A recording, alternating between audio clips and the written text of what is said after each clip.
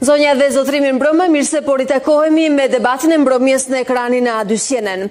24 orët e fundit kanë qënë me shumë zhvillime për rajonin, por edhe Shtetet e Bashkuara të Amerikës. Departamenti Amerikan i Shtetit njoftoi pasuesin e Gabriel Escobar, që do të mbulojë Ballkanin Perëndimor. Ai është Aleksandër Sasha Kasanov dhe do të jetë zëvendës ndihmës i sekretarit për rajonin tonë. Ky zhvillim vjen ndërsa në Beograd parlamenti u mblodh për një seancë të jashtëzakonshme për të miratuar deklaratën e Kuvendit pan-serb. Në anën tjetër, partitë pro-ruse u bënë pjesë e qeverisë në Mal të Zi. Ndërkohë, drejtoresha e Shërbimit Sekret Amerikan Kimberly Cheatle dha dorëheqjen sot vetëm 24 orë pasi ligjvënësit demokratë dhe republikanë u bënë bashkë dhe i kërkuan të largohej nga posti pas atentatit ndaj Donald Trump. Në kampin demokrat, pas tërheqjes së Biden, Kamala Harris po konsolidon mbështetjet mes demokratëve, për të marrë nominimin edhe zyrtar si kandidate e demokratëve. E për të gjitha këto zhvillime, flasim në debatin e mbrëmjes sonte me të ftuarit tanë. Na bashkohet në panel zoti Roland Bimo, diplomat, ish ambasador, mirëmbrëma dhe mirë se vini. Me ne do të jetë zoti Arben Çejku, diplomat, ish ambasador, mirëmbrëma mirë se vini në debat, zoti Ilir Kalemaj politolog mirëmbrëma, faleminderit që jeni pjesë jona, pas pak bashkohet me ne edhe diplomati ish ambasadori Agim Nesho dhe do të kemi në komunikim të drejtpërdrejtë nga Shtetet e Bashkuara të Amerikës Dhe Menada Zaimin, gazetare e Zërit të Amerikës, por vetëm pas pak. Fillimisht do të qëndrojmë në studio me panelistët tanë për të marrë idenë e parë natyrisht për atë që ishte lajmi i orëve të fundit dhe me një impakt të jashtëzakonshëm për Ballkanin, besoj për ecurinë, vijimësinë e për më tepër që është zëvendësues i Escobar. Ambasador Bimo po e nis me ju. Çfarë ju thotë emri Kasarov? Besoj se tashmë keni pasur kuriozitet për të bërë një lloj kërkimi dhe keni një nuhatje mbi atë çfarë thotë CV-ja e tij dhe direktivat që mund të sjellë Me ardhjen dhe uljen e tij në këtë post, çfarë ju thotë emri Kasanov për Ballkanin? Ëh Diplomati Kasanov është duket që ka një eksperiencë të caktuar për çështjet ukrainase dhe ruse. Ka qenë me, me shërbim në Ukrainë në, në kohën kur ka ndodhur revolucioni në sheshin Majdan. Ajo që më tërheq vëmendjen, CV-në e tij, më bën të koincidojë me një gjë që e kam, është menduar jo vetëm nga unë, po lexuar edhe komentet pas samitit të Washingtonit, të 75 vjetorit të themelimit të NATO-s, ku tashmë duket qartë grupimi, ravizimi i grupimeve perëndimi një anë dhe pjesa tjetër në anën tjetër. Që do të thotë, Serbisë shumë shpejt do t'i krijohen ato kushte që do duhet të vendosi se nga ku, domethënë, ajo ulja në dy karrige e Serbisë... Do të jetë e pamundur, thoni? Do të jetë e pamundur më tutje. Dhe më tentoj ta shikoj këtë profesionalizëm politik diplomatik të zotit Kasanov si një zbatim, implementim të kësaj ideje që është shkëmbyer edhe nëpër informacione të ndryshme në, në mediat ndërkombëtare, po unë e, i kam dhënë më shumë rëndësi duke dashur ta besoj vetë këtë gjë. Kam përshtypjen që do, do jetë pozitive për rajonin tonë, ky ndryshim, Por, në asnjë mënyrë nuk duhet spekuluar që ndryshimi i Eskobarit me Kasanov është bërë për arsye se Eskobar ka pasur ato probleme që ka pasur. Pra, tendenca që ka ekzistuar... Siç është fundi i mandatit në maj? Ekzakt. Siç është fundi i mandatit? Tendenca që ka ekzistuar për ta politizuar, për ta projektuar si të korruptuar dhe si të njëanshëm Eskobarin në ushtrimin e detyrës së tija, kam përshtypjen që është shumë e ekzagjeruar dhe dhe një diçka tjetër që mendoj se është me interes për t'u thënë, nuk ka ndodhur në rajon ndonjë një gjë e re që të krijojë një ingredient të ri në makinerinë amerikane të përpunimit të informacionit për të projektuar politika të jashtme të reja në rajon, për rajonin. Shtetet e Bashkuara të Amerikës do vazhdojnë të mbeten po në të njëjtin regjistër, stabiliteti, shteti ligjor, demokracia, në mënyrë të veçantë do vazhdojë lufta kundër korrupsionit, sistemi i drejtësisë dhe sidomos mbajtja e këtij rajoni sa të jetë e mundur larg influencës ruse. Masa Durbimo me këtë panoramë që po më bëni do thotë që me uljen e tij në karrigen e Eskobar do duhet mos kemi pritshmëri maksimaliste, por thjesht vijimësinë e politikës koherente të DASH apo jo. Besoj se kjo ishte ajo që dëshiroj. Ju përmendët Majdanin, por në fakt në kohën që ai ka shërbyer në ambasadën e Kievit, pra në ambasadën e Shteteve të Bashkuara që funksiononte asokohe në Kiev, në të ashtuquajturin revolucioni i Majdanit kishte marrë një çmim dhe për këtë përmendej edhe në CV-n e tij nga Departamenti Amerikan i Shtetit si një prej arritjeve më të mira. Megjithëse i laureuar në Majdan në kohë revolucionesh pa eksperiencë për Ballkanin. Diplomatët sot janë goxha universalë në, në përgatitjen e tyre, edhe sidomos diplomatët amerikanë me trajnimet që bëjnë janë si të thuash mund të hidhen në çdo qoshe të globit dhe kanë të njëjtën performancë. Ose të, të përafërt, mbase jo të gjithë njësoj. Dhe jo patjetër që do duhet të njofi çdo qytet apo çdo fshat të Ballkanit që të jetë ekspert për çështjet e Ballkanit. Ai ato që njef mirë, njef se çfarë dëshiron të arrijë Amerika, Shtetet e Bashkuara të Amerikës në këtë rajon dhe kjo është më se e mjaftueshme që ai ta kryejë më së miri detyrën e tij. Kam përshtypjen që eksperienca e Ukrainës ka goxha pika të ngjashme me mënyrën se si funksionon edhe rajoni jonë. Kështu që nuk do duhet ta listojmë në listën e disavantazheve për emrin e Kasanov. Ambasador Çeku, një CV e pasur, shumë gjuhë, në ndërkohë që edhe në momentin që flasim është një kandidaturë e cila nuk është pasive, ka një kontribut aktiv në Departamentin Amerikan të Shtetit, hyn në diplomacinë aktuale edhe në media e politikëbërje, pra ka një funksion aktual, ndërkohë që karriera e tij duket se ka pasur një pikë kulmore në Majdan. Për Ballkanin do duhet të kemi pritshmëri dhe ajo që unë përmenda, mungesa e eksperiencës edhe e njohjes, familjaritetit me klimën ballkanike. A do duhet të radhitej si disavantazh apo të qenit me këtë peshë dhe me këtë karrierë të tij nuk është e përllogaritshme si një dobësi për Kasanov? Shiko, për të parashikuar vijueshmërinë e kontributit amerikan në dialogun Kosovë-Serbi, nuk duhet të nisemi nga profili, nga CV-të e diplomatëve amerikanë, sepse kjo na ka bërë shpeshherë të kemi një këndvështrim të gabuar mbi ta, ashtu siç e përmendi ambasador Bimo për Gabriel Escobar, të cilin e kemi personalizuar dhe një pjesë për fat të keq, edhe e kanë kryqëzuar me akuza të padenja. Shtetet e Bashkuara të Amerikës në tërësi ushtrojnë politika institucionale dhe jo personale. Në këtë rast, edhe zoti Kasanov që do të do të pasojë mandatin e Escobar, nuk besoj se do të sjellë ndonjë risi në dialog. Dhe kjo nuk do vijë për shkak të profilit të tij, të formimit të tij, apo dëshirës së tij për të shënuar një gjë tjetër plus në CV-në e arritjeve diplomatike. Janë rrethanat që e kushtëzojnë këtë statu quo. E para është se ende Administrata e Bashkimit Europian është në një tranzicion formatimi dhe deri nga vjeshta do të kemi të themi administratën e qartë të Bashkimit Europian dhe ndarjen e detyrave. Në anën tjetër, në shtator-tetor, kur administrata e BE-së do jetë gati, do fillojë beteja për administratën e re amerikane.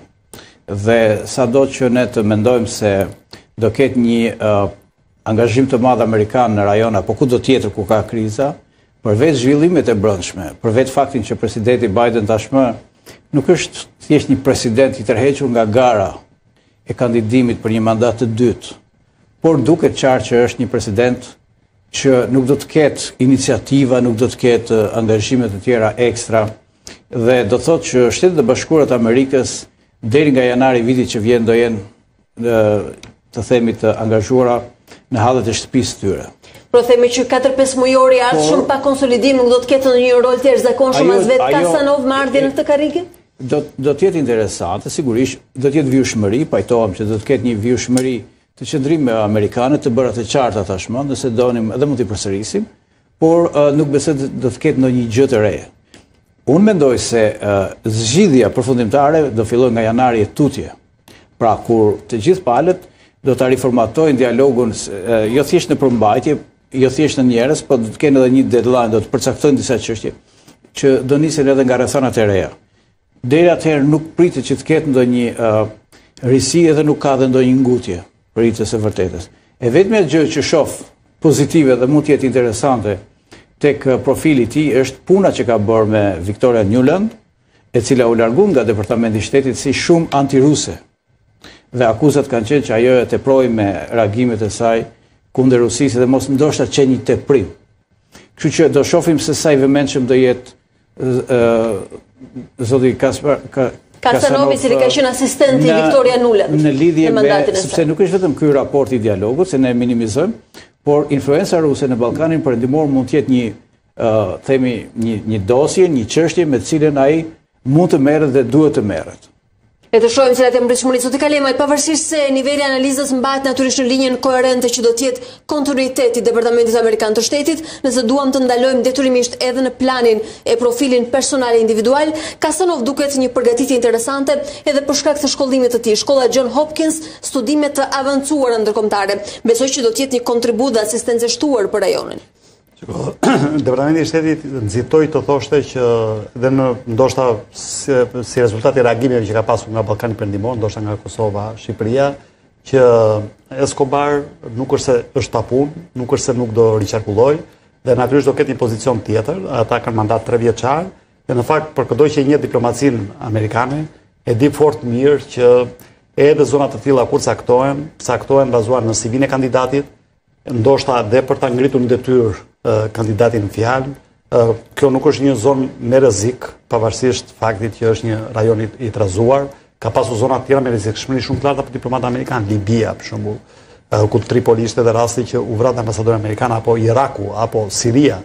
Megjithatë për t'u kthyer te emri konkret, siç u përmend, pra fakti që ai vjen me një CV të pasur, fakti që ka qenë zëvendësi pikërisht Viktoria Nuland që ka qenë më e anatemuara nga të gjithë nga pala ruse dhe deklaratat e saj kanë qenë më shumë politike sesa diplomatike, ka qenë zëri më i fortë në departamentin e shtetit. Ëm ehm, mendoj që është një sinjal që vjen me një lloj backgroundi megjithë mosnjohje shumë thellë ndoshta të çështjeve të ngushta të Ballkanit Perëndimor me ehm, përgatitje për sa u përket influencave malinje që quhen apo dezinformimit, luftërave hibride që natyrisht Rusia i shtrin dhe në këtë territor. Kështu që ky është lajm i mirë në qoftë se duam ta shikojmë si shqiptarë në këtë në këtë prizëm.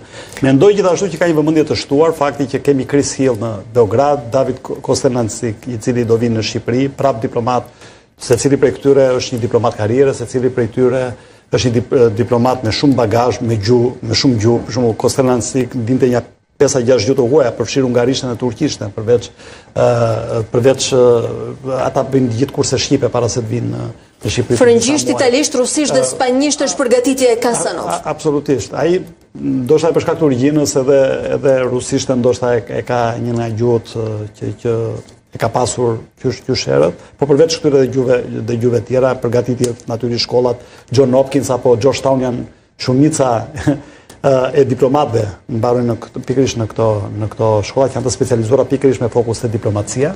Kështu që mendoj që ka, për të qenë një temë tjetër, për hir të së vërtetës, unë jam shumë dakord me atë që tha zoti Çeku që Escobarit shpeshherë i visheshin gjëra që ndoshta nuk ekzistonin, që nga gruaja që e cila kishte hapur një ekspozitë në Beograd, po shitej sikur ishte serbe në disa portale që lexoni, pastaj thuhej që ishte agjente, Ky punonte për llogari të Serbisë, tani këto të gjitha janë pjesë e tallavasë së diskutimeve. Ai ishte një diplomat në fund të ditës korrekt, në lidhje me detyrat që ai bënte, përfaqësonte linjën e politikës së jashtme të një shteti të rëndësishëm siç janë Shtetet e Bashkuara të Amerikës. A pati sukses? Unë mendoj që nuk pati shumë sukses, bashkë me Lajçakun apo me Borrell. Megjithëse dhe në këtë rast jemi skeptikë dhe në mëdyshje në qoftë se sukseset e munguara duhet t'ia atashojmë emrit të individit po, pra, apo linjës së po, po. departamentit edhe në këtë rast. Po, ndryshimi i të tre këtyre aktorëve me peshë në Ballkanin Perëndimor, po, pra nga njëra anë Lajçakut dhe Borrellit, që janë ndërmjetësit kryesorë në terren. Do të jetë detyrimisht ndryshues i balancave? Ndryshim, po, mendoj se, mendoj se do ketë ndryshim edhe për shkak të emrave që ne kemi diskutuar në studion tuaj të dy personave të cilët do emërohen në vend të zotit Lajçak dhe natyrisht Borrell. Që do të jenë zëvendësuesit edhe po. Lajçak dhe Borrell. Pra e gjithë treshja e rikonfiguruar. Ose paku dua të jem optimist, do ketë një temp. Le të jemi optimistë, a më shumë dobi,, fakti që do të ketë një vakum në këto 4-5 muajt kur po themi Shtetet e Bashkuara të Amerikës kanë hallet e tyre të brendshme, ka një fushatë kuazi agresive, natyrisht që do të kenë një agjendë të mirëpërcaktuar për atë çfarë do të ndodhë së brendshmi. Ky lloj interesi duket gati gati terciar, megjithëse BE ka një vëmendje të shtuar. A besoni që do të jetë një vakum edhe sa i takon zhvillimeve dhe implementimit të praktikave në Ballkan? E, ajo që do të doja unë t'i shtoj atyre që thashë pak më përpara është që pozicioni i e, zëvendës asistentit të sekretarit të shtetit Kam përshtypjen që është niveli më i lartë i vendimmarrjes për drejtimin e punëve në këtë rajon tonin për momentin. Domethënë, në 99-ën, kohën e luftës në Kosovë, vendimmarrja për rajonin ishte në atë që i thonë kati 7 në Departamentin e Shtetit, që ishte zyra e sekretarit të shtetit. Pra në atë kohë, rëndësia që kishte rajoni për Shtetet e Bashkuara të Amerikës ishte niveli i sekretarit të shtetit. Sot rëndësia që ka nuk shkon më shumë sesa deputy assistant secretary, domethënë zëvendësndihmës i asistentit të, të sekretarit. Kjo do të thotë që puna e tija, sikurse dhe Eskobarit pak më përpara, për të cilën me të drejtë nga të gjithë rajonet tona, nga Shqipëria dhe nga Kosova, ka një lloj si thonë disappointment, ka një lloj zhgënjimi, sepse sa arrijnë këta njerëz në pozicionin që kanë, të tërheqin vëmendjen e vendimmarrjes në një nivel më të lartë. Gjithë ky është truku i pozicionit të tyre, se ata vetë Kanë atë peshë që kanë, por në një moment që do duhet të lëvizin diçka nga vendi, do duhet që të tërheqin sekretarin e shtetit, të tërheqin presidentin, të tërheqin nivele të tjera të vendimmarrjes në deklarimet për çështjet e Ballkanit.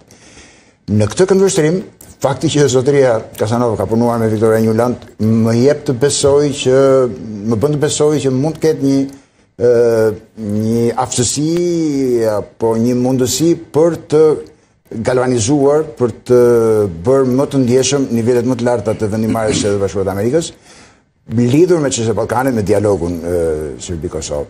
Gjë që për momentin deri në janar kam përshtypjen që do ishte jashtë çdo imagjinate për mënyrë për për gjendjen në të cilën ndodhen Shtetet e Bashkuara të Amerikës. në fushatë, një nga fushatat, ata kanë gati 10-15 vjet që janë në një polarizim të, të skajshëm, po kjo fushatë që po ndodh sot, ka nisur pazakonshëm.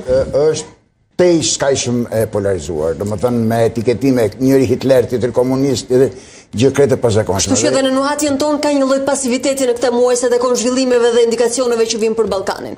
Natyrshmërisht, është apo jo Kazanov. Ambasador Çeku, ndërkohë ka pasur një zhvillim në Beograd, një seancë e jashtëzakonshme për miratimin e deklaratës pan-serbe, për mbrojtjen e të drejtave politike e diplomatike të serbëve, thuhet ndër të tjera, megjithëse qëllimi duket shumë evaziv në atë çfarë shkruhet, deri te ajo çfarë praktikisht tentohet të realizohet. Çfarë ju thotë ky zhvillim?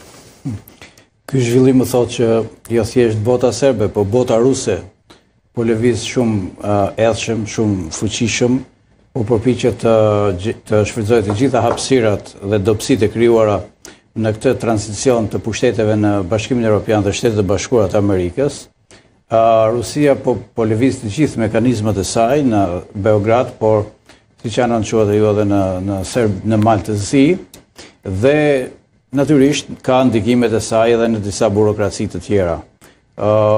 Nuk është e rëndësishme thjesht vendimmarrja në këtë kuvend apo rezolutat që do nxjerrin apo deklaratat që do nxjerrin, sepse pak a shumë e dimë se cilat janë synimet e shfaqura nga Vuçiq apo nga Dodik apo nga ecejaket e Vulin në Beog në në Moskë apo edhe çështje të tjera që lidhen mes mes këtyre vendeve. Në fakt, ajo që pjesa që duhet të shqetësohet në në këtë në këtë paralele është ku janë shqiptarët dhe qeveritë e tyre, të cilat duket se janë me pushime vere dhe nuk shohin se përreth nesh ka një intensitet të lëvizjes së interesave të të tjerëve dhe ne duhet të mendohemi mirë për terrenin që duhet të rifitojmë. Dhe kur e them këtë, e them kryesisht nisur nga Prishtina dhe nëse më lejon një parantezë, vendimi që mori Këshilli Europian për liberalizimin e dis e vizave për serbët e Kosovës që mbajnë pashaporta të lëshuara nga Serbia, është një goditje shumë e madhe që i jepet sovranitetit juridik të Kosovës, dhe e bën shumë të vështirë dhe shton edhe një pikë tjetër delikate në agjendën e bisedimeve të ardhshme. Sepse pikërisht këtu mund të fillojë një betejë e re e paparashikuar, demografike, politike, juridike dhe ndërshtetrore. E them këtë sepse askush tashmë nuk ka kontroll se sa do të jetë numri i këtyre serbëve që pajisen me këto lloj pashaportash. Kush ka garanci që në këtë listë nuk vijnë edhe vullnetarë të tjerë nga Rusia për t'u pajisur me këto pashaporta që të lëvizin lirshëm në Bashkimin Europian. Kush garanton që të gjithë ekstremistët serbë nga rajonet e ish Jugosllavisë mund të grumbullohen nën përkujdesin e qeverisë serbe për t'u pajisur me këto pashaporta për të lëvizur lirisht dhe e fundit kush garanton që ky numër pashaportash, ky numër njerëzish mund të rritet deri në nivele të paparashikuara që të bëhet një çështje midis një çështje shumë delikate mes Kosovës dhe Serbisë dhe Bashkimit Evropian. Unë mendoj që Bashkimi Evropian në këtë rast i ka kontribuar thellimit të krizës së besimit mes Kosovës dhe Serbisë. Nuk ishte domosdoshme që të pajisesh të pranohej ky lloj grup pashaportash.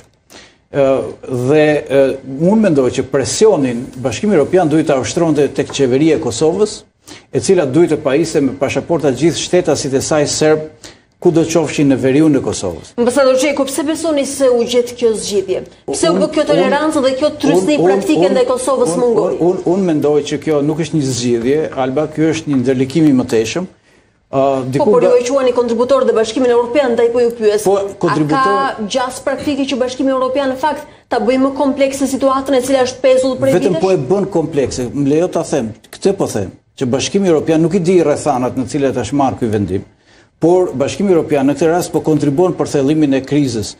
Këtu nuk, as nuk diskutohet më për Zajednicën apo për asociacion të komunave serbe. Unë po flas, për një popullatë që po krijohet me këtë lloj pashaportash në veriun e Kosovës, një popullatë të cilën nuk e kontrollon as Bashkimi Evropian as Kosova. E kontrollon vetëm zyra e, e Kosovës në qeverinë e Serbisë, e cila tani ka të drejtën që kushdo që mund të paraqitet atje si serb i, Kos, i veriut të Kosovës i jep pashaportën dhe e regjistron në regjistër që ky shtetas është shtetas ky është serb që jeton në veriun e Kosovës, por ka një të themi një pasaportë me të cilën mund të lëvizë lirisht në Bashkimin Europian. Dhe dhe Bashkimit Europian. Pra cilido që e pretendon këtë shtetësi sot do e ketë të garantuar. Po, dhe nuk duhej që Bashkimi Europian ta krijonte këtë luks që mund të sjellë një krizë. Kjo më krijon një paralele ironike.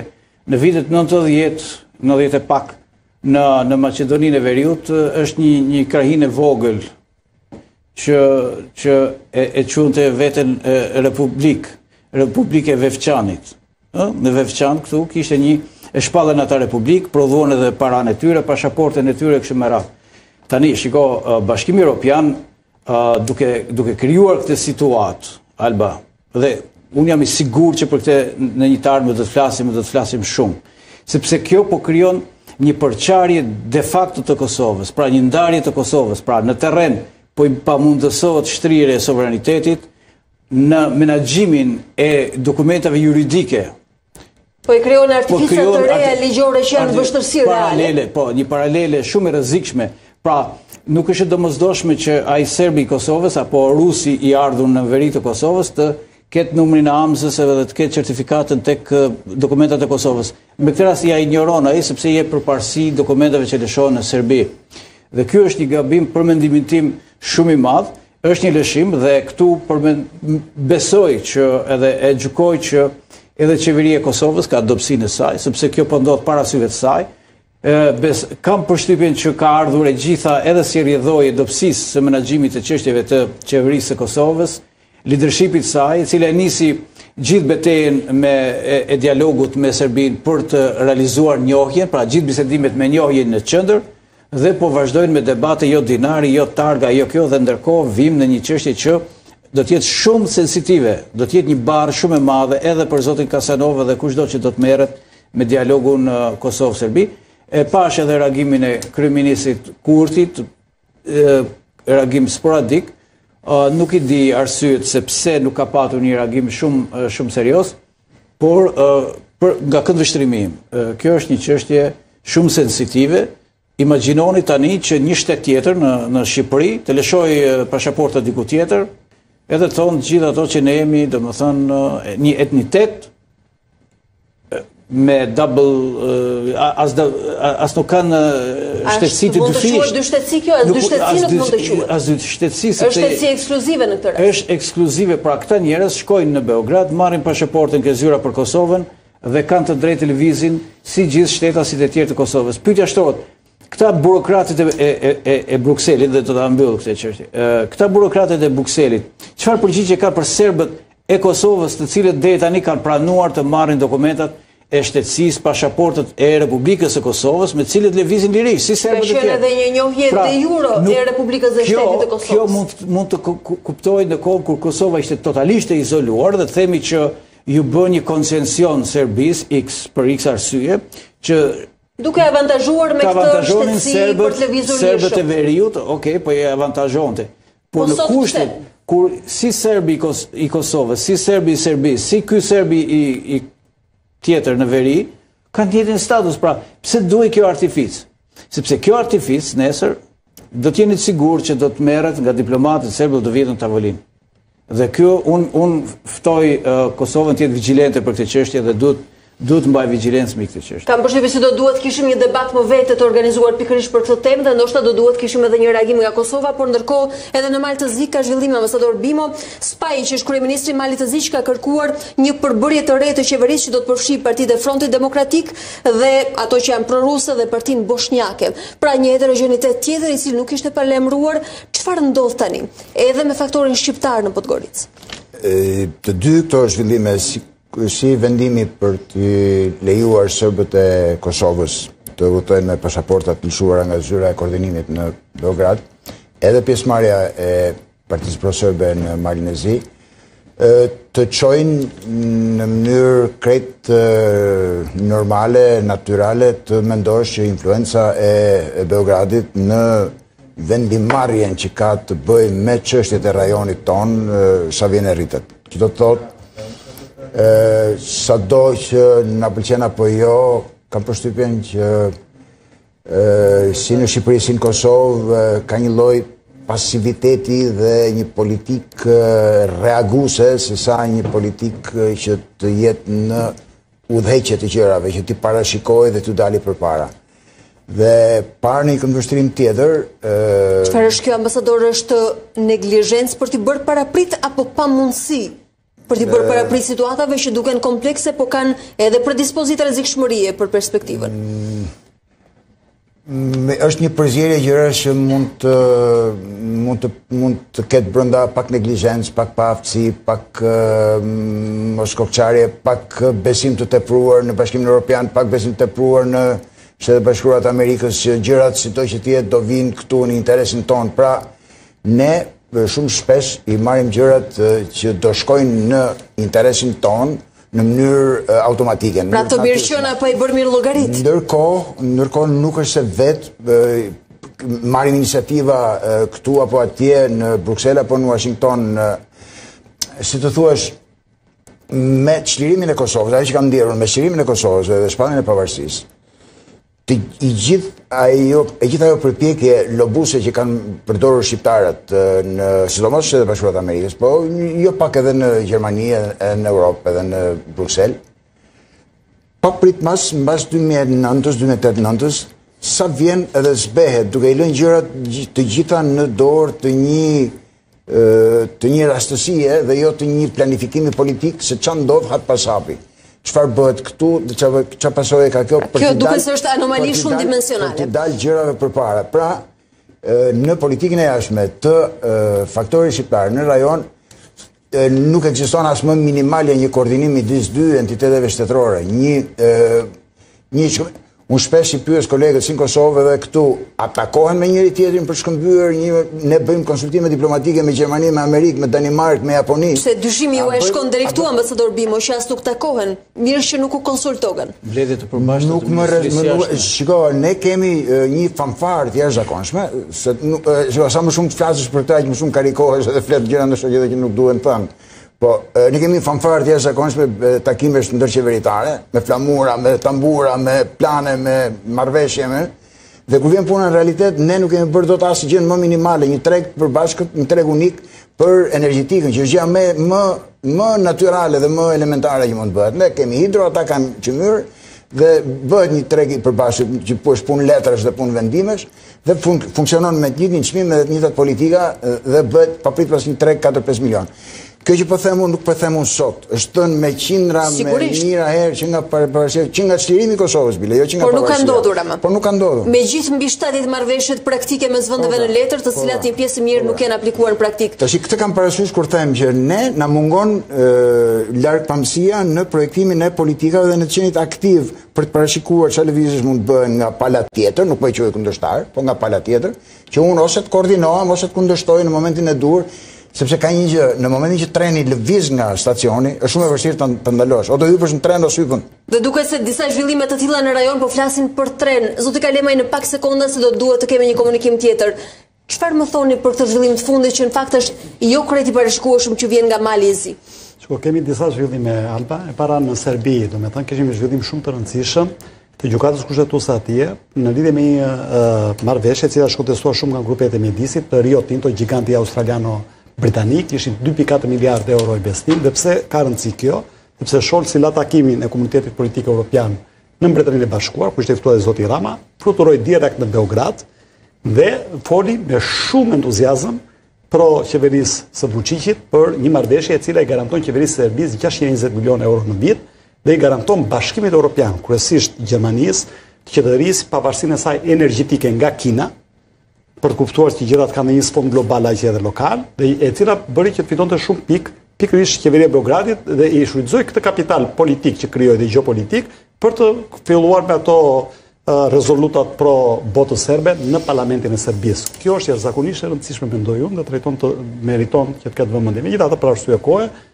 kalojmë te Mali i Zi. Mali i Zi gjithashtu është shumë interesante sepse aty kemi dy kryeministrin e presidentin, të cilët janë në një konflikt disamujor, kemi një koalicion jashtëzakonisht të brishtë, uh, ai që është situata, Spajiç që është kryeministri që ishte më proeuropiani mes të dyve, propozon që të shtojë dy zëvendëskryeministra dhe tre ministra nga fronti demokratik pro-rus. Partia pro-ruse dhe partia boshnjake. Po, po fronti demokratik pro-rus vetë është një koalicion, i cili ka problemet e tij mes vetit. Ndërkohë që kryetari i kuvendit të Malit të Zi, është një pro-serb i hapur, i cili mban pashaportën serbe, flamurin serb në zyrën e tij, njeh vetëm shtetin e Serbisë, Mandiç, pra ai nuk e njeh fare shtetin e Malit të Zi, dhe kemi një situatë jashtëzakonisht të rrezikshme në një shtet i cili ishte pararojë e vendeve të tjera, qoftë për sa i përket hapjes gjithë kapitujve për Bashkimin Evropian, qoftë për sa i përket anëtarësimit në NATO, Qoftë përsa i përket orientimit të tij të fortë. Dhe ju po pyesni çfarë ndodhi me Spajç? Euroatlantik. Pra çfarë ndodhi me Spajiç për të mbajtur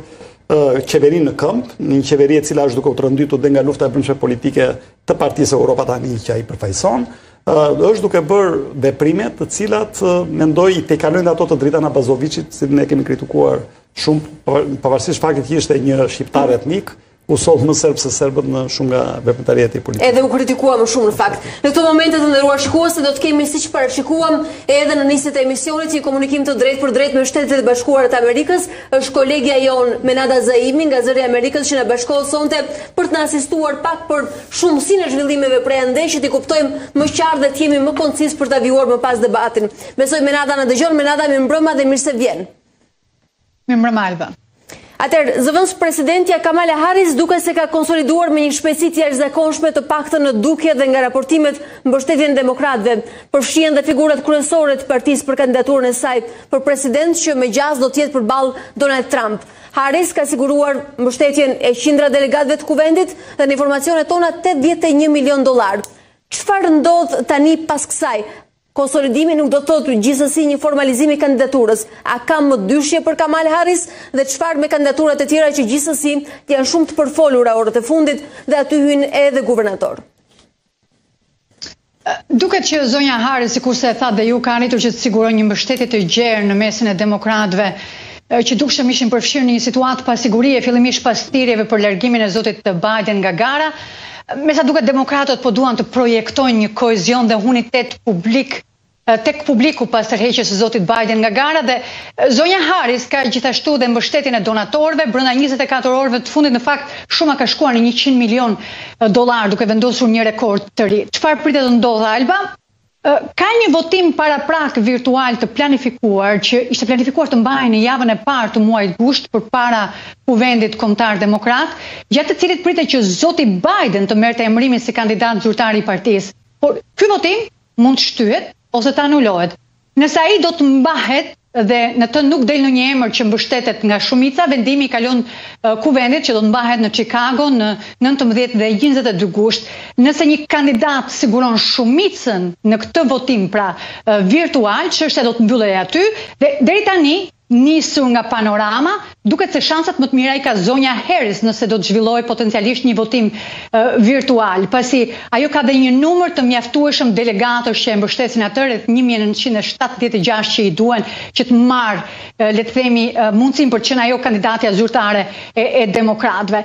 Por, ajo çfarë do të na sqarojë edhe më shumë do të jetë komisioni i rregullores së kuvendit që mblidhet nesër dhe ndoshta aty do të kemi edhe më shumë qartësi mbi këtë çështje. Sigurisht Flor Alba që ka Alba ka edhe emra të tjerë që që kanë qarkulluar, emra demokratësh të shquar, janë përmendur kandidatë të mundshëm krah zonjës Harris edhe guvernatorë shtetesh si Gretchen Whitmer nga Michigani, Josh Shapiro nga Pennsylvania, JB Pritzker nga Illinois, Gavin Newsom Nga Kalifornia, por Josh Shapiro dhe Gavin Newsom për shembull kanë mbështetur zonjën Harris që ditën e diel kur u njoftua dorëheqja e zotit Biden dhe nga ana tjetër vetë zoti Biden shprehu mbështetjen e hapur për zonjën Harris. Megjithatë duhet thënë që deri në këto momente që po flasim Alba, asnjë prej këtyre kandidatëve nuk e ka shfaqur publikisht dëshirën e tij për të kandiduar, kështu që pritet të shohim në vazhdim. Ndoshta nesër do të kuptojmë edhe më shumë lidhur me çështjen e votimit virtual, nëse ai do të mbahet ose jo, ose do të kemi një kuvend të hapur. Çfarë do të thotë një kuvend i hapur që kandidatë të ndryshëm demokratë të mund të garojnë dhe të shohim se kush do të fitojë. Mesazheve në dukje ka disa pragje të tjera për t'u kapërcyer deri në formalizimin e kandidaturës së Harris. Gjithsesi, Enada, janë zhvilluar sondazhe sepse besoj atje ka një kontribut të jashtëzakonshëm edhe në vendimmarrjen finale. Nga fundjava e deri më sot kur në fakt u mor vendimi edhe për zbrapsjen e Biden, që mund të flasin pak më shumë për konfigurimin sot në dukje në një garë të mundshme me predispozitë që Harris të jetë përballë Donald Trump nesër në nëntor. Po, ka sondazhe të fundit, zonja Harris ndodhet gjithsesi pas zotit Trump me dy për qind mesatarisht në nivel kombëtar, dyzet e gjashtë për qind ajo, dyzet e tetë për qind zoti Trump, ky është një përmirësim po ta krahasojmë me pozicionin e zotit Biden në garë, ai renditej pas zotit Trump me rreth tre për qind, dyzet e shtatë zoti Trump, dyzet e katër zoti Biden. Por Bie në sy që në sondazhet e disa shteteve të lëkundura të kryera përpara se zoti Biden të njoftonte se do të tërhiqej nga gara presidenciale dhe të përfunduara përpara atentatit ndaj zotit Trump, zonja Harris ishte vetëm një për qind larg në një shtet vendimtar, siç është Pensilvania, në një garë kuptohet hipotetike përballë zotit Trump dhe ajo dukej se fitonte me pesë për qind në Virxhinia, një tjetër shtet ku zoti Biden kishte një diferencë të vogël me zotin Trump. Në të dyja këto shtetet, Zonja Harris rezultonte pak më e fortë dhe zoti Biden se sa zoti Biden krahasuar me votuesit për shembull afroamerikanë, me të rinjtë, me gratë, me të gjitha ato grupe ku duket që demokratët duhet që të fitojnë zemrat e tyre për të qenë të suksesshëm në këtë vjeshtë. Dhe më e rëndësishmja, këto janë grupe ku zoti Biden duket se po humbiste terren. Në prill, për shembull, zonja Harris ishte në mënyrë të konsiderueshme pas zotit Biden për përsa i takon sondazheve, por duket se ka fituar më shumë terren në sondazhet e fundit. Megjithatë duhet thënë Alba që ka pikëpyetje, e para sepse zonja Harris nuk është ende kandidatja zyrtare e Partisë Demokrate, pastaj lidhen edhe me emrat që ajo mund të zgjedhë si nënpresident, ata potencialisht mund ta Mund t'i jepnin asaj një hov të ri. Zoti Trump nga ana tjetër thotë se për shembull mund ta ketë më të thjeshtë garën me zonjën Harris sesa me zotin Biden, mbetet për t'u parë se sa e vërtetë është një gjë e tillë, në kushtet kur zyrtarë të fushatës së tij kanë thënë për mediat amerikane që zoti Trump në fakt do të preferonte që në pesë nëntor të kish patur përballë zotin Biden, do ta kishte më të sigurt fitoren. E sigurt është që ka një ndryshim të trajektorës në zgjedhje, por se si dhe sa ka ndryshuar ajo mbetet për t'u parë. Enada, meqenëse më fole për një rritje e cila është lajm në këtë rast për sondimet dhe anketimet për emrin e Harris, më thuaj, a është e shpjegueshme dhe a është lehtë e interpretueshme?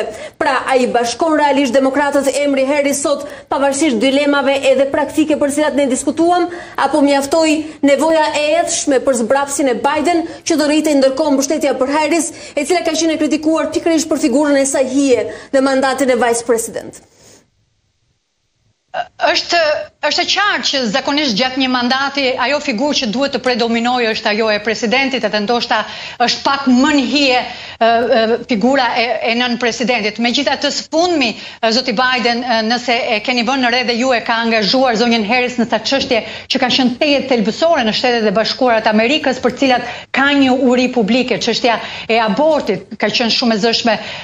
zonja Harris në to.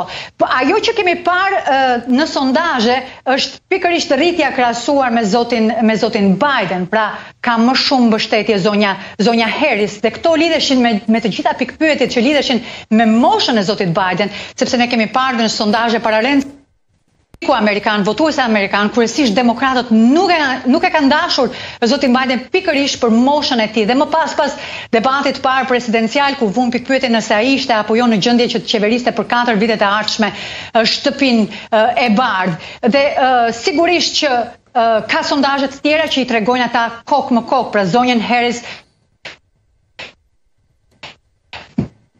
me, me parë dhe 5 nëntori do të jetë ajo që do ta qartësojë nëse gjithmonë zonja Harris do të jetë kandidatja zyrtare e Partisë Demokratike.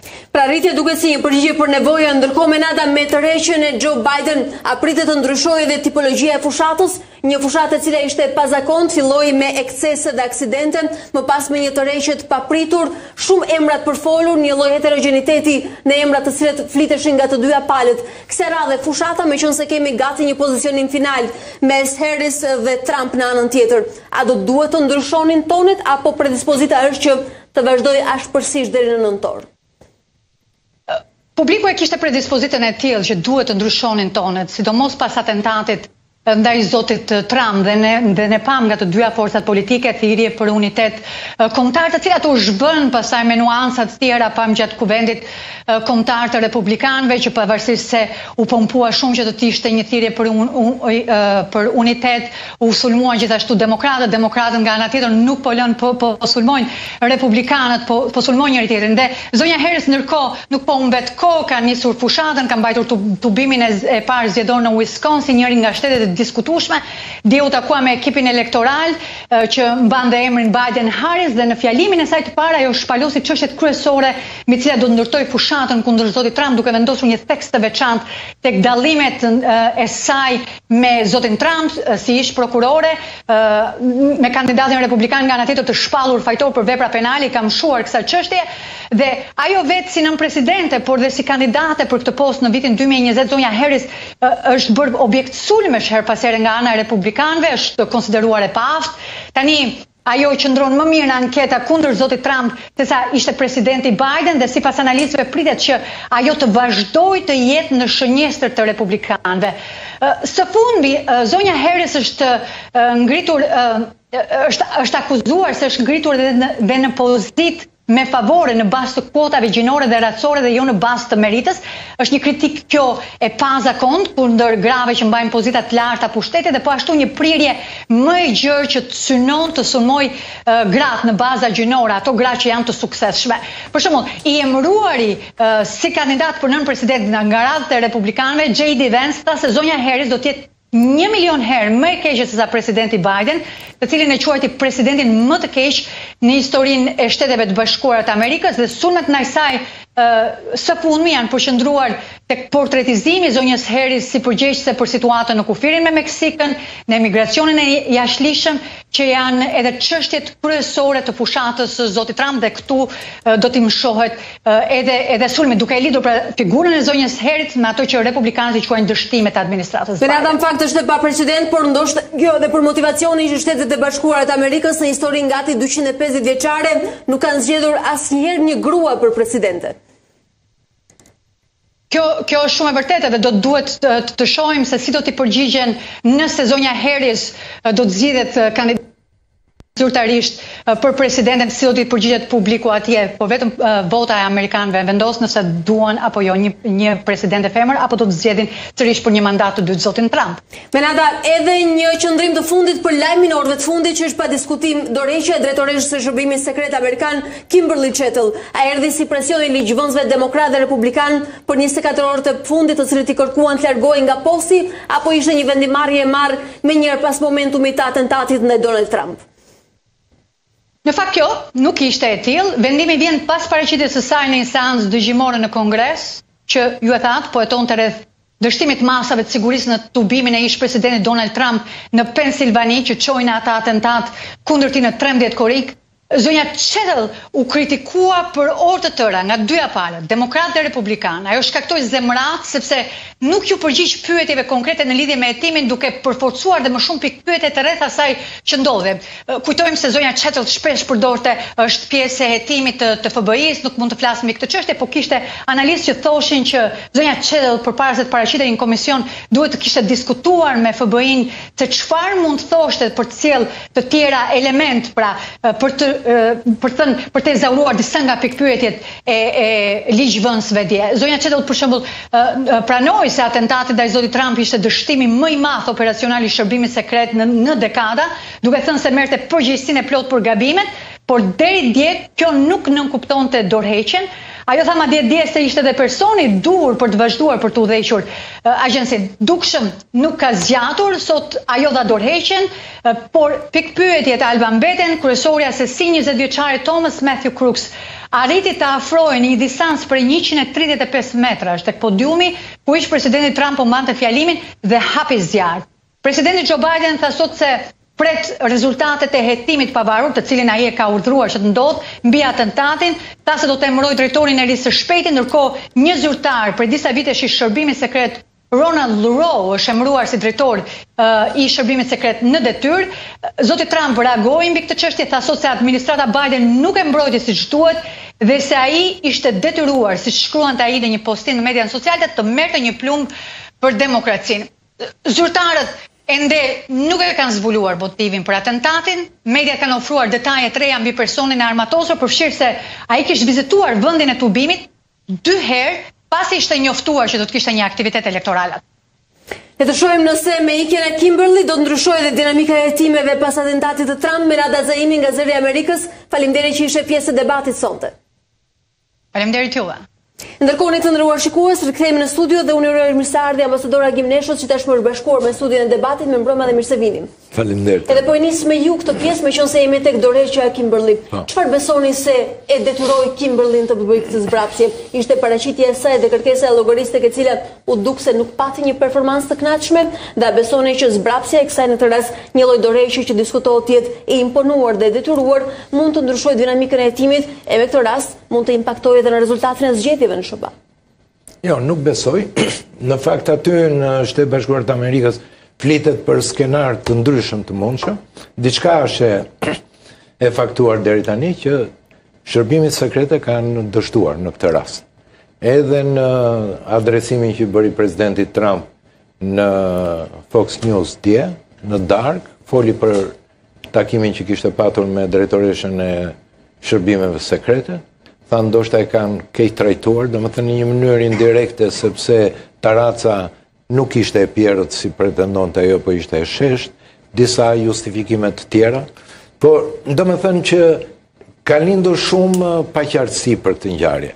Ka pjesë të shtypit amerikan që kanë thënë që eliminimi i agresorit që kreu atentatin është bërë jo nga snajperët e e shërbimit sekret, po nga një snajper tjetër.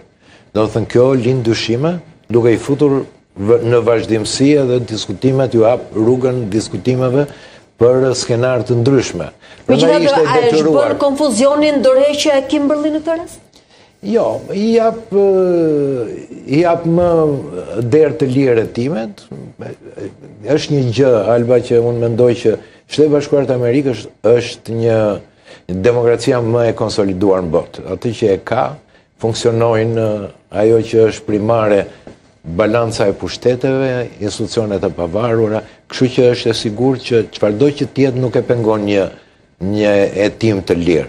Do të shikojmë pa paragjykuar atë, do të shikojmë që kush janë shkaktarët e këtij dështimi dhe kush e ka domethënë në qoftë se ka patur grupe të interesuara ose të tjerë pra do të dalin gjatë hetimit. Të shohim se për çfarë piste do të flitet në vijimësi. Ambasador Çeku, a janë këto prova të një demokracie të konsoliduar amerikane?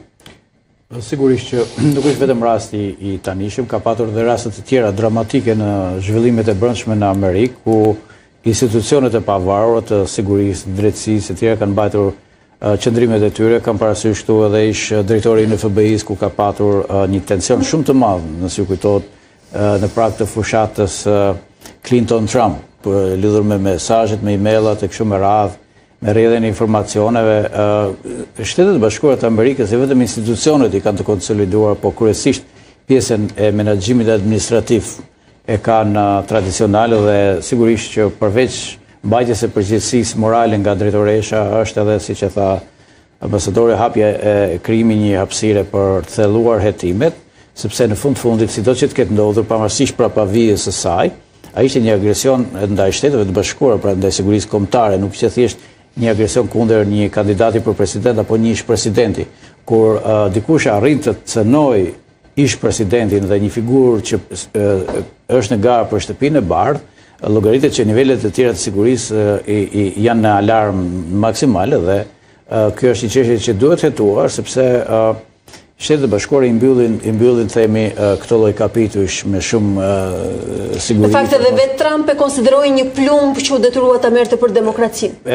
Tani Këtu ka, e, këtu ka një gjë se uh, politizimi i mëtejshëm i kësaj. Ne unë nuk e parashikoj dot se nuk e di a, a do përdoret më tutje kjo uh, si refren gjatë fushatës. Besoj, a mund të bëhet e papërdorshme një momentum si ky, një atentat ndaj kandidaturës për president? Bes, besoj që um, nuk e di tani se ne nuk jemi jemi shumë larg nga të gjitha uh, këndvështrimet e fushatës, por uh, do përdoret deri aq sa mos të kthehet në një bumerang, sepse në fund fundit ka një çështje balance edhe pala tjetër, të themi po, po, po. merr përgjegjësinë e saj, tërheqja e presidentit Biden është po ashtu një tërheqje edhe nga kjo nga ky zhvillim, ai ndoshta edhe për këtë arsye nuk nuk ndihej i fuqishëm për ta përballuar këtë lloj debati, sepse do t'i numërohej si si një agresion, jo ndoshta i drejtpërdrejtë, por gjithsesi përgjegjësi e pushtetit të tij. Pra tërheqja e presidentit, tërheqja e shefes së shërbimeve sekrete, avancimi i hetimeve të mëtejshme, do do ta relaksojnë akoma më tepër, besoj dhe uroj ta relaksojnë fushatën dhe ta shmangin retorikën e përçarjes, e cila po paralajmërohej si një rrezik i madh për stabilitetin e brendshëm politik dhe publik në Shtetet e Bashkuara. Check and balance funksional, ambasador Bimo, dy tërheqje njëra pas tjetrës, tashmë është edhe shefja e shërbimit sekret. A mund ta konsiderojmë që po i hapet rrugë një hetimi ku do të shmanget tërësisht konfuzioni i cili pashmangshmërisht ka lindur pas rastit të Donald Trump? Jo, në vijim edhe të kolegëve parafolës, pa dyshim Shtetet e Bashkuara të Amerikës janë shteti më i rëndësishëm në botë. Janë shtylla ku mbështetet stabiliteti i botës ekonomik, politik, ushtarak, dhe natyrisht janë një shtyllë e demokracisë. Thënë këtë, nuk do të thotë që brenda Shteteve të Bashkuara të Amerikës të ketë segmente që funksionojnë në mënyrë të pandikuar, të pavarur nga njëri-tjetri, po në dëm të interesave të grupeve të ndryshme. Domethënë nuk është se po them ndonjë gjë të re, të sjell në vëmendje që ende nuk është zgjidhur se kush vrau Kennedy. Dhe me rastin e këtij atentati dalin thënie të ndryshme të vetë president, ish presidentit Trump, i cili në fushatën e kaluar ka premtuar ndër të tjera që sapo të vinte në pushtet do të bënte publike regjistrimet që nuk janë bërë publike lidhur me hetimet për vrasjen e Kennedy. Dhe kur është pyetur ditët e fundit të dorëzonte detyrën, se pse nuk e ka kryer këtë detyrim dhe këtë angazhim që mori para popullit amerikan, ka thënë që në qoftë se ju do të dëgjonit ato që kam dëgjuar unë, me siguri që do do merrnit vendim që të mos publikohen ato gjëra. Pra, e, ajo që e, ka ndodhur me 13 korrik, Ne urojmë të gjithë që të hetohet, të zhbirohet, sepse është për të mirën e asaj që që thamë, që është shteti më i rëndësishëm i botës dhe ka e, e, pasoja për stabilitetin në gjithë botën, po duhet të jemi të përgatitur që mundet edhe të mos kuptohet asnjëherë se çfarë kush ka qenë motivi, kush kanë qenë grupet e interesuara për eliminimin e Mirë, po këto janë disa prova që zinxhiri është funksional dhe rrugë hetimit po i hapet gjithsesi, po flasim në rrethanat aktuale, sepse nëse përdorim si referencë historinë, ndoshta do duhet të kemi edhe predispozitën e dështimeve të mundshme ose moszbulimit të ndonjëhershëm në rreshtat e historisë. Ë, unë besoj që hetimet do ngadalësohen dhe e, në fushatë nuk do kemi ndonjë zhvillim spektakolar të, gjetje, të gjetjeve të reja për hetimin, sepse do të ngarkonin jashtëzakonisht shumë. Kjo ndoshta për të mos instrumentalizuar fushatën e njërës palë që do të ishte disavantazh i jashtëzakonshëm për tjetrën. Sepse tashmë jemi në një situatë ku opinioni amerikan është tmerrësisht siç e përmenda edhe pak më përpara i përçarë, Siç ka qenë edhe në prag të fushatës së parë, në 2016-ën, për kur u zgjodh presidenti Trump, siç ishte në fund të presidencës, siç ishte në zgjedhjet e kaluara, siç është edhe sot. Domethënë po të dëgjosh akuzat që kandidatët i bëjnë njëri-tjetrit, është një nivel që nuk përputhet me imazhin tonë apo timin të paktën. Tonin për Amerikën. Për Shtetet e Bashkuara të Amerikës. Po. Zoti Kalemaj? Po në fakt unë për ata që kanë ndjekur të 4 orë deponimin e Kimberly Cheatle, në fakt ajo u emërua politikisht nga presidenti Biden në 2022-shin, ajo ka punuar për një kompani Pepsi Cola më parë si shefe sigurisë, pra nuk vjen nga radhët e shërbimit sekret, ku punojnë 7800 veta personel në uniformë apo administrativ.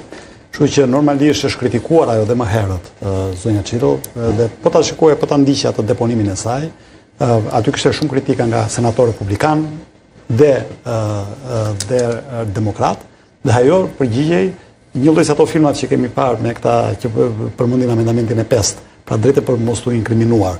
Pra përmendte që nuk e di, nuk kshu, ne morëm masat, pra përgjigjet e saj ishin shumë të vagullta dhe në një farë mënyre ishin arrogante. Ishin arrogante ndaj trupës legjislative, e cila po bënte pyetje shumë të drejtpërdrejta në lidhje me dështimet e sigurisë. Nuk po futemi këtu teorive të konspiracionit, pa pasur evidencat, nuk ka askush që mund të... Jo, po qëndrojmë te raportimi e saj që në po, fakt e shtoi mjegullnajën, jo, dhe rriti konfuzionin. Ideja është domethënë që është atë që tha dhe ambasadori me të drejtë, dhe pra ka në Amerikë, po diskutohet jashtëzakonisht, siç u diskutua dikur për vrasjen e Kennedy, për atentatin ndaj Reganit edhe kështu me radhë, Që a është një konspiracion i shtetit të thellë, a ka këtu grupe të caktuara, a është një ujk i vetmuar. Ky debat do vazhdojë përtej kësaj fushate presidenciale, por ajo që dihet me siguri tani që po flasim ishte një dështim spektakolar i këtij shërbimi, pra të kesh gati 8000 veta personel, domethënë Posaçërisht të garantosh, ne kemi parë të gjithë edhe me video, edhe me pamje filmike, se ku ishte ndërtesa, aty kishte persona që u intervistuan menjëherë më pas nga BBC-a, nga rrjetet amerikane, të cilët thanë që kishin parë atentatorin, kishte pasur disa minuta... Madje kishin sinjalizuar njerëz të sigurisë. Sinjalizuar, kishin marrë në telefon, pra domethënë ishin një sërë gjërash që të bën të dyshosh në lidhje me këtë fakt. Kështu që mendoj që natyrisht pra mbajti përgjegjësinë e saj, dha dorëheqjen në fund të ditës, ishte në një unë po shikoja një video para disa ditësh kur ajo dha deponimin, disa senatorë republikanë po e ndiqnin duke i bërë pyetje zonjës në fjalë, ajo me një arrogancë as nuk ndaloi, po shkoi dhe u kyç në tualet. Domethënë gjë që duket pak paradoksale, po, po të marrësh parasysh parametrat që për të një zyrtari zyrtari. Gati deri edhe qesharake, megjithatë po ju pyes, a keni edhe ju përshtypjen ose parashikimin që gjatë kësaj fushate elektorale nuk do të ketë dritë mbi hetimet ndoshta për të mos avantazhuar në thonjëza kampin e Trump? Shiko e përmendi në fakt dhe zoti Çeku më parë rastin e shefit të FBI-së Comey, i cili natyrisht me veprimin që ai bëri u kritikua shumë në atë kohë, pati në anën tjetër mbështetje, Disa thanë që ishte pikërisht ai faktori kyç që e bëri të mundur zgjedhjen e Donald Trump dhe në fund ishte u pushua po nga Donald Trump në një moment të dytë. Kështu që këto janë çështje shumë të diskutuara, por që kanë ndikim në qoftë se futen si pjesë e fushatës elektorale, natyrisht po. Në rastin konkret, dorëheqja e zonjës i frenon deri diku Spekulimet në lidhje me rastin konkret, unë bie shumë dakord me ambasadorin që kjo do shkojë përtej fushatës elektorale, sepse ata mësuan dhe nga e kaluara dhe nuk duan të japin asnjë lloj valence kësaj ngjarje. Besoj presidenti Trump është i pari që nuk dëshiron Duke marrë parasysh momentumin e mirë që ai ka për momentin, edhe fjalimi përbashkues që ai bëri në rastin e Konventës Republikane, nuk do të dëshironte diçka që do ta shfokusonte vëmendjen nga fokusi i zgjedhjeve presidenciale. Të shohim se sa afatgjatë do të jenë përbashkuese ndërkohë për garën e cila duket e rikonfiguruar tashmë me zbrapsjen dhe emrin e ri të propozuar, ndonëse jo të formalizuar për finale, bëhet fjalë për Kamala Harris, do të flasim vetëm pas pak. Ne kemi pak sekonda publicitet dhe rikthehemi me pjesën e dytë të debatit, ju vazhdoni të na ndiqni.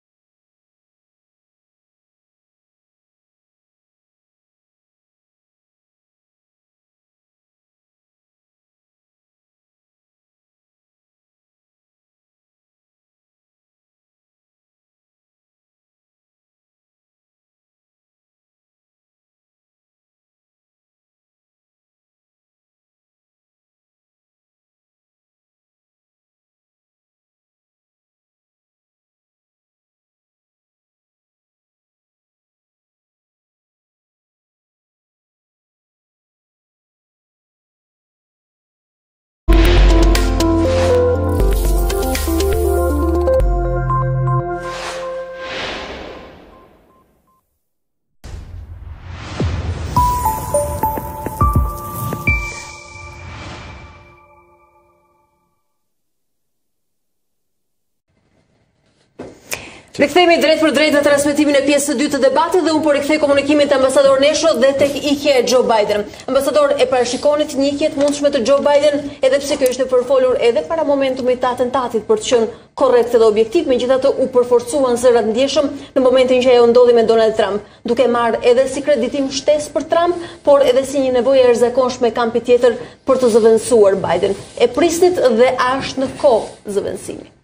Në fakt, humbja e parë e presidentit Biden dua të bëj një një diskutim me kolegun nga Washingtoni që është një figurë historike me përmasa të jashtëzakonshme, dua ta vlerësoj një kontribut të shkëlqyer sidomos në politikën e jashtme, ka drejtuar Komisionin e Politikës së Jashtme të Senatit. Një njeri me një staturë shumë të veçantë që nuk mund ta krahasosh me asnjë tjetër që mund të vijë nga demokratët, aq më pak me zonjën Harris ose të tjerë, domethënë.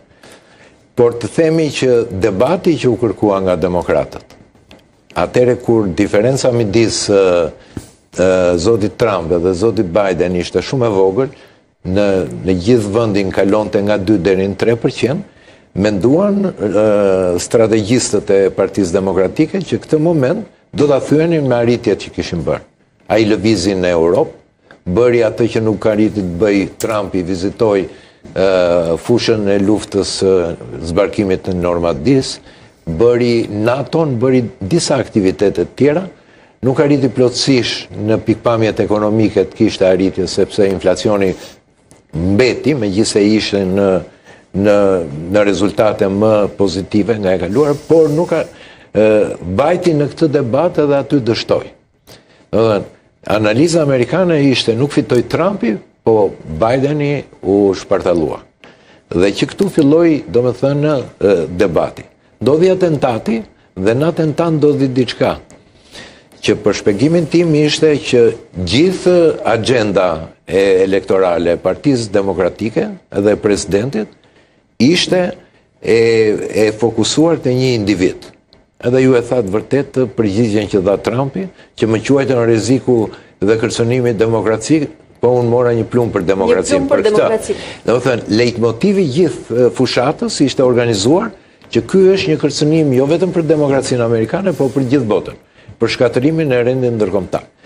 Duke qenë e tillë dhe detyrimi i presidentit, një presidenti të përgjegjshëm, që t'i përgjigjej vendit me një politikë për interesat kombëtare, tashmë pas atentatit, që mos ky kjo shoqëri e polarizuar tejskajshme, nga një retorikë e pakontrolluar, në, me rritje të tensioneve sociale të gjitha, presidenti i zuri pozicionin që i takonte si president në detyrë.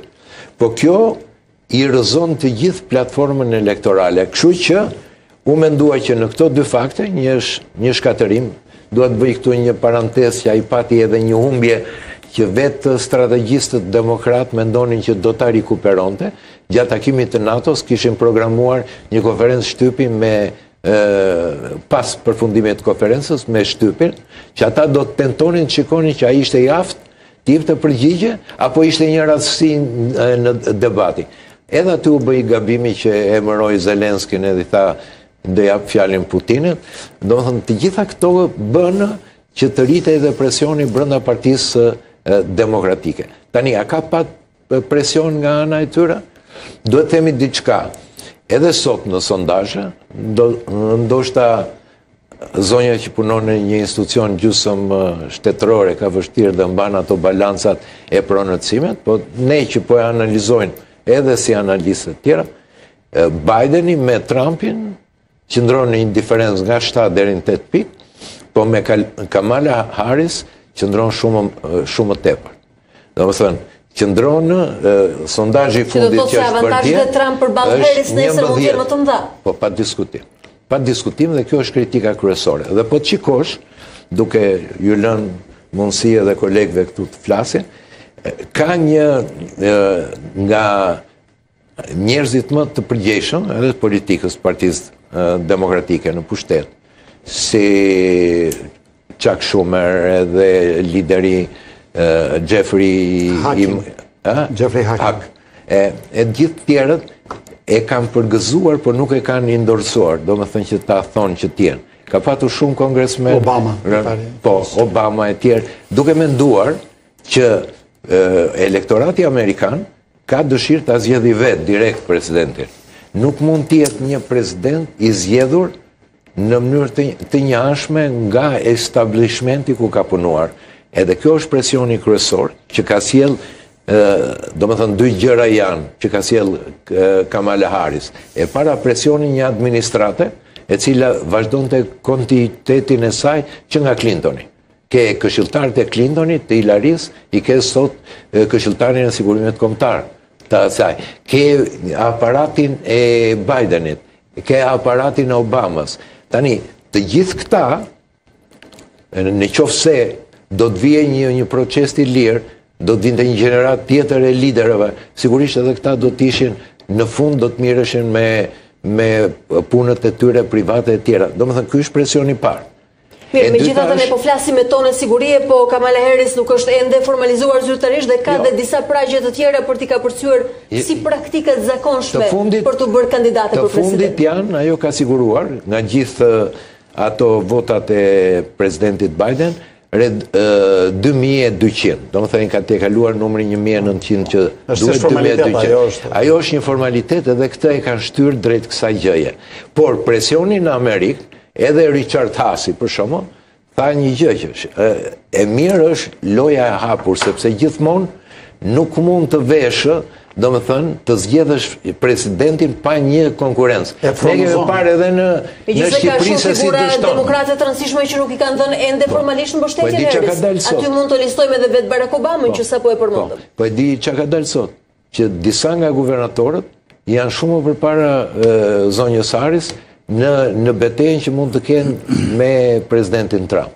Dhe së fundi për ta mbyllur është një gjë që kemi një një zonjë shumë e nderuar, unë i uroj suksese dhe ne nuk jemi nga ata që diskutojmë kush fitoi, fitojnë të dy palët, çështja është mbrojnë interesat e kombit shqiptar edhe çështjet e demokracisë, kjo është principiale që ne shikojmë nga dy palët kushdo që të jetë, por mendoj që kemi të bëjmë figura e Bidenit reflektonte një gravitas, ta themi të vërtetën, një burrë shteti që kishte kaluar një eksperiencë 50 vjeçare në është njeriu që ka projektuar ligje të, të jashtëzakonshme në Senatin Amerikan e tjera. Kemi një politikane të re të panjohur, që e provoi në në garën që kishte me me Bidenin dhe doli poshtë dy shifrave, me një shifër dhe iku që para garës që u bë në Ohio. Domethënë, vendin e parë që duhet të tërë kalojnë, domethënë, atje, nuk mori as minimumin dhe shumë pak dhe iku nga gara. Një garë po edhe një post ku u tregua një lloj zhgënjimi në dukje. Shpesh kishte tone ankimuese se asaj nuk i lihej pozita dhe kontributi që i takonte, po me sa duket... Edhe, edhe së dyti unë shikoj edhe diçka tjetër, po shikoj gjithë lajmet që vijnë nga Amerika, për shembull Elon Musk, për shembull tallej, që me një fotografi që bënte kandidatja për presidente me Alex Soros. E thoshte, tani e kuptojmë se kukla e kujt është, ose një tjetër për shembull nga këta Korifenjtë e politikës që bëjnë diferencë. Megjithatë Elon Musk do duhet ta marrim me rezerva meqenëse jep miliona dollarë në ditë për po. fushatën e Donald Trump. Jo, dhe këtë e ka jo, jo, zyrtarizuar jo, pas momentit të atentatit. Jo, pa diskutim. Por për një figurë publike nuk ka thënë njeri për autoritete të rëndësishme që ta prekin në, në çështje substance. Megjithëse radhët e kampit rival dhe mbështetësit nga kampi rival duket se janë më radikalë. Edhe, edhe, edhe, edhe një moment në qoftë se më lejon. Vetë presidenti Biden nuk e endorsoi menjëherë, domethënë ishte presioni i establishmentit që i bëri presion, sepse ai e bëri lajmërimin në Twitter, në X-in, në platformën X, kurse në letrën që i takonte ta bënte, dhe të tërë këta thuan që ka patur midis stafeve të tyre që ka penguar promovimin e saj se nuk e ka besuar në aftësi. Domethënë këto janë të shtypit amerikan, jo diskutimet jo, tona. Analiza ndërkombëtare kështu flisnin për një lloj stepje po. dhe pasiguri ambasador Bimo.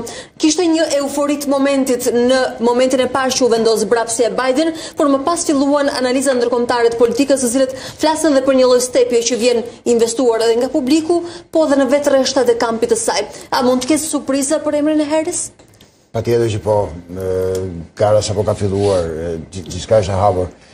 Unë do ta filloja duke thënë që ne, unë të paktën, rrëmbehemi kaq shumë nga çfarë ndodh në Amerikë, saqë i trajtojmë çështjet e amerikanëve sikur të jenë çështjet tona, dhe shpesh ndoshta pa dashje bëhemi pjesë e fushatës që, që ndodh atje.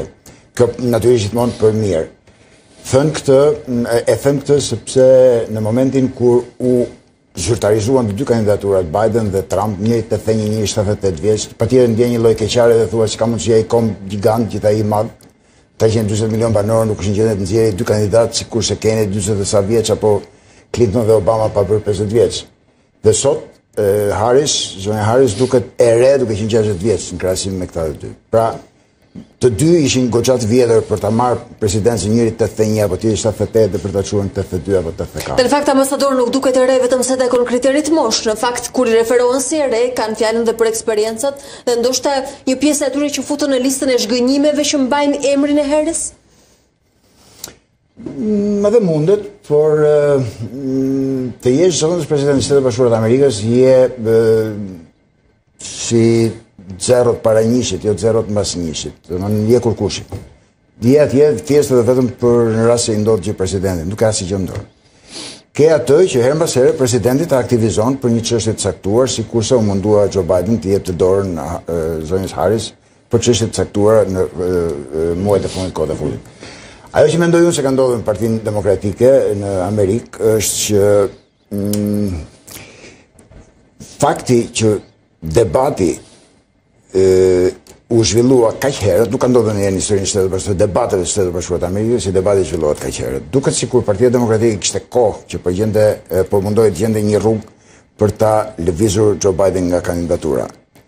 Dhe, a kjo ishte rruga për të anticipuar dhe, atë që do të ndodhte? Mua më bën të dyshoj që fakti që e lanë kaq herët ishte për t'i dhënë një mundësi për ta ballafaquar me publikun, për t'i parë të gjithë dështimin dhe për t'i thënë zotni liro krahun se nuk je më për këtë punë.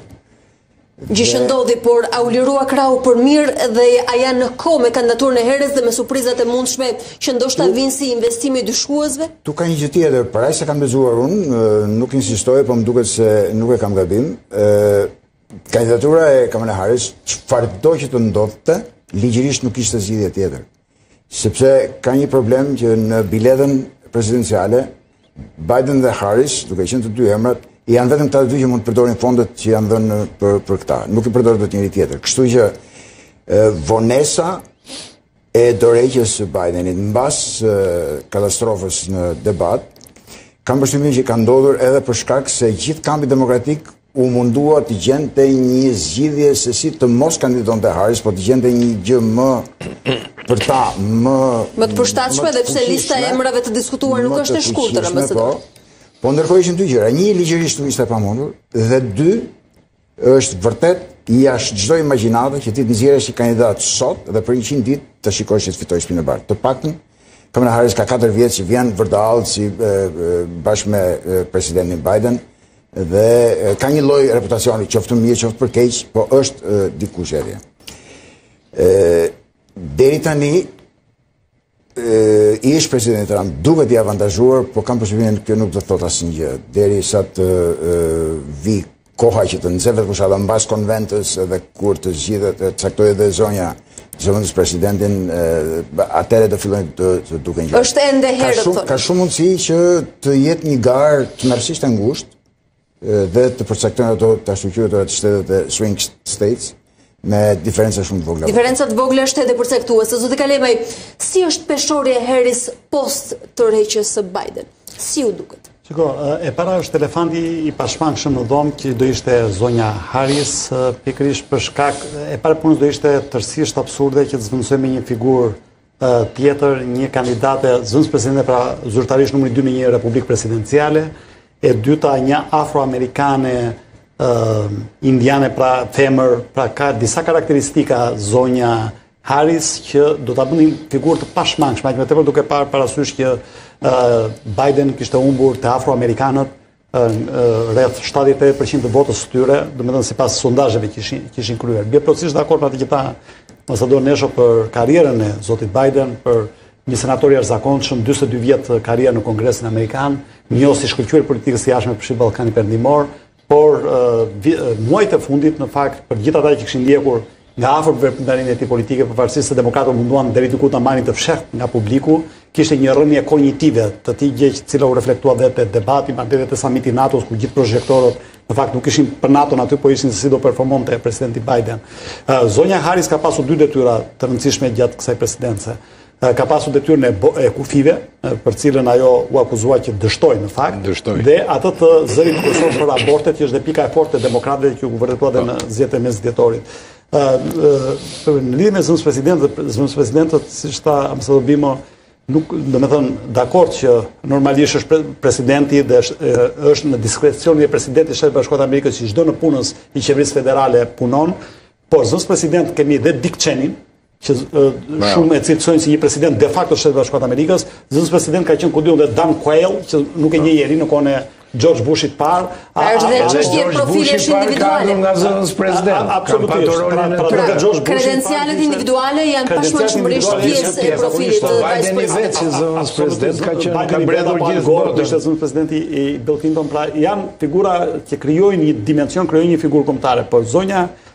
Harris vjen me disa avantazhe dhe me disa disavantazhe. Pra avantazhet e saj janë që ka qenë një prokurore e një shteti të rëndësishëm si Kalifornia. Ë uh, është një avantazh tjetër që sot që flasim pra mbi 2200 delegatë ajo i ka siguruar është thjesht një procedurë tani për për ta zyrtarizuar vetëm ditët e para për 24 orë. Pra nga e diela deri të hënën darkë janë mbi 100 milionë euro plus uh, dollar, më falni, Plus 100 milion dollarë që ishin ndërkohë në arkat, atë që tha ambasadori, pra mbi 200 milion dollarë, një një një cunam financiar. Po për një qind që të cilët siguroi vetë Harris për çështje tre ditësh. Pikërisht për çështje dy ditësh në fakt, 1.1 milion prej tyre janë donatorë unikë, janë 62% që i votojnë që dhurojnë për herë të parë, pra duket që kemi qartazi një të të shtrëngojmë radhët të demokratëve, Një unitet. Mobilizim, po themi. Mobilizim total i tyre, sepse dihet që në Shtetet e Bashkuara të Amerikës, kush ka ndjekur fushatat elektorale, e di që më tepër ka rëndësi të mobilizosh votën tënde, se sa ka të zgjerosh bazën e votuesve, dhe këtë ka bërë presidenti Trump me shumë zgjuarsi në fakt, dhe republikanët në përgjithësi. Republikanët në Shtetet e Bashkuara të Amerikës, 40 vitet e fundit kanë qenë minorancë, Po kanë fituar shumicat e legjislaturave të shteteve. Pra duket se Harris ka një lloj qartësie në këtë objekt, po, mobilitet të votës së brëndshme. Nuk mendoj që është thjesht Harris individ, mendoj që dhe makineria elektorale e Partisë Demokratike, e cila është një parti e konsoliduar për hir të së vërtetës, që qëndron pas saj, të dyja bashkë janë duke përkuar. Dhe unë them që do jetë, edhe unë ndaj të njëjtin mendim që do jetë një garë e ngushtë, unë kam pas shumë sondazhe, kam pas sondazhe të Swing States, ato shtetet që që vendosin balancat, dikur shtetet swing ishin tre, ishin Pennsylvania, Florida dhe Ohio. Sot nuk janë më tre shtete në Shtetet e Bashkuara të Amerikës. Sot sot janë disa shtete, sot është dhe Virginia për shembull. Është dhe ja, Virginia për shembull që kryesore po. Joe Manchin për shembull që kanë që ishte u shpall i pavarur, po. e, e barazoi Senatin, tani doli dhe tha që mund të, të anojë ndaj zonjës Harris, po pret për të pa programin saj, është Arizona vitet e fundit, pra kemi shumë shtete të tjera të cilat, po sidomos ai që njihet si Rust Belt, pra uh, Ohio, uh, Minnesota, Pennsylvania, këto janë shtetet kryesore decisive. Që kryesisht kontingjente vendimmarrës në qoftë se po, zëdati duke shkoj kushtet. Këto kanë votuar dikur për demokratët, por kemi një humbje të vendeve të punës të atyre që njihen si blue collar, pra këtyre punëtorëve, të cilët duke qenë të zhgënjyer se shumica e vendeve të punës së tyre po shkojnë në Meksikë apo gjetkë, po mobilizohen nga baza republikane dhe ky është një ndryshim i demografisë, po për ta përfunduar ata se është dhe një debat që dha për ata që na ndjekin. Pse na interesojnë kaq shumë Shtetet e Bashkuara të Amerikës dhe pse diskutojmë kaq shumë për zgjedhjet atje? Për dy arsye. Para e punës sepse çfarë ndodh në Shtetet e Bashkuara të Amerikës ka një reverbim total në gjithë pjesën tjetër të globit. Ne nuk mund të jemi imun ndaj ndryshimeve politike, ndaj ndryshimeve të politikës së jashtme. Çfarë thamë në pjesën e parë të emisionit? Do të thotë një zyrtar ndryshon atje dhe ne nuk dimë se kush do jetë qasja e Departamentit Amerikan të Shtetit për Ballkanin. Kosovën në lidhje me Malin e Zi, Serbinë, Shqipërin e kështu me radhë. Natyrisht ata kanë një rol shumë më decisiv se europianët në, në këtë rajon dhe jo vetëm. E dyta, sepse ajo që ndodh në Amerikë, nga ana elektorale, kujtoj këtu gjithmonë thënien e mikut britanik para gati 20 vjetësh, i cili pas bëri një prezantim të shkëlqyer për fushatën, ai ishte i vetmi britanik që kishte punuar si jo amerikan, duke drejtuar fushatat e një kongresmeni, një senatori në Shtetet e Bashkuara të Amerikës, përveç eksperiencës në Britani. Tha, kur isha në Britani, tha, ne ishim 4 vjet para gjithë Europës. Kur shkova në Shtetet e Bashkuara të Amerikës, pashë që ata ishin 4 vjet para nesh në konceptimin e një fushate elektorale. Një fushatë elektorale atje fillon 4 vjet më parë, nuk fillon muajin e fundit. Prandaj ajo që po ndodh dhe dhe e fundit, atë ka gati. Mund ta konsiderojmë këtë fushatë këtë të presidencës e takon rikonceptimit. Absolutisht. Katër muaj para. Absolutisht. Ambasador Çeku? S'e di, ë shof një lloj. Ka më siguri apo nuk është më diskutim emri i Harris siç po e bëjmë ne sonte, ndoshta edhe për shkak të listës së gjatë të emrave dhe sondazheve të cilat janë polemizuese. Shof një lloj optimizmi tek Iliri, për uh, Kamala Harris. Jo. Prandaj pra, pyeta, është më një diskutim apo quhet një etapë e mbyllur me apo pas sondazhit të sotëm? Prit, prit, prit një sekond. Pikë së pari herë është një pyetje e madhe. A janë gati Shtetet e Bashkuara të Amerikës që t'ia besojnë presidencën një gruaje? Sepse vetë thatë, janë disa shekuj këtu. A janë Shtetet e Bashkuara gati të ballafaqohen me një presidente përballë agresionit përballë Rusisë, përballë Kinës, përballë kësajt, asajt etj etj? Pyetja tjetër është, ne kemi patur një kandidate për presidente si Hillary Clinton, e cila nuk ka të krahasuar me Kamala Harris. Pra, jo thjesht pse ajo ka qenë në Shtëpi të Bardhë për 8 vite, ishte sekretare e shtetit. Ishte senatore, Ishte senatore. Pra ishte një një figurë që vetëm ajo atë e penalizoi establishmenti. Ajo që ne këtu i themi jetë autokraci, për cilin do flas pak. Pra, ajo u mund sepse Donald Trump erdhi si figurë e re, unifikuese e të gjithë grupeve të papërfaqësuara, të cilët e shikonin Washingtonin si një kështjellë ose një shtëpi të fildishtë, nuk futeshin dot, nuk e Dhe të gjithë de, në një farë mënyrë nëpërmjet Donald Trump i dha një leksion gjithë politikës dhe burokracisë së Washingtonit që i kishte gati veshët me dyllë dhe nuk dëgjonte nga gjithë këto grupime. Tani këtu ka një gjë dhe e tha Iliri që fushata ka zgjatur. Uh, indirekt, humbja e parë për Donald Trump është largimi i Joe Biden nga fusha. Sepse gjithë fushata e Donald Trump ishte përqendruar tek Joe Biden dhe uh, çdo gjë po përgatitej si një fitore e lehtë që do vinte. Që do të thotë se do të duhet të ndërtohet edhe fushata e Donald po, Trump? Po, po patjetër. Me të drejtë sepse, rasti te Zëri i Amerikës thoshte ndër të tjera që Trump do të preferonte Biden përballë dhe jo Kamala Harris. Karta e fortë ndaj Biden ishte mosha, tani bie... U folën, u folën kaq shumë gjëra sa unë tani nuk i mbaj mend gjitha dhe po them vetëm mendimet e mia. Sigurisht. Donald Trump vrapoi rreth fushës së sportit tre herë, ka, është në garën e katërt.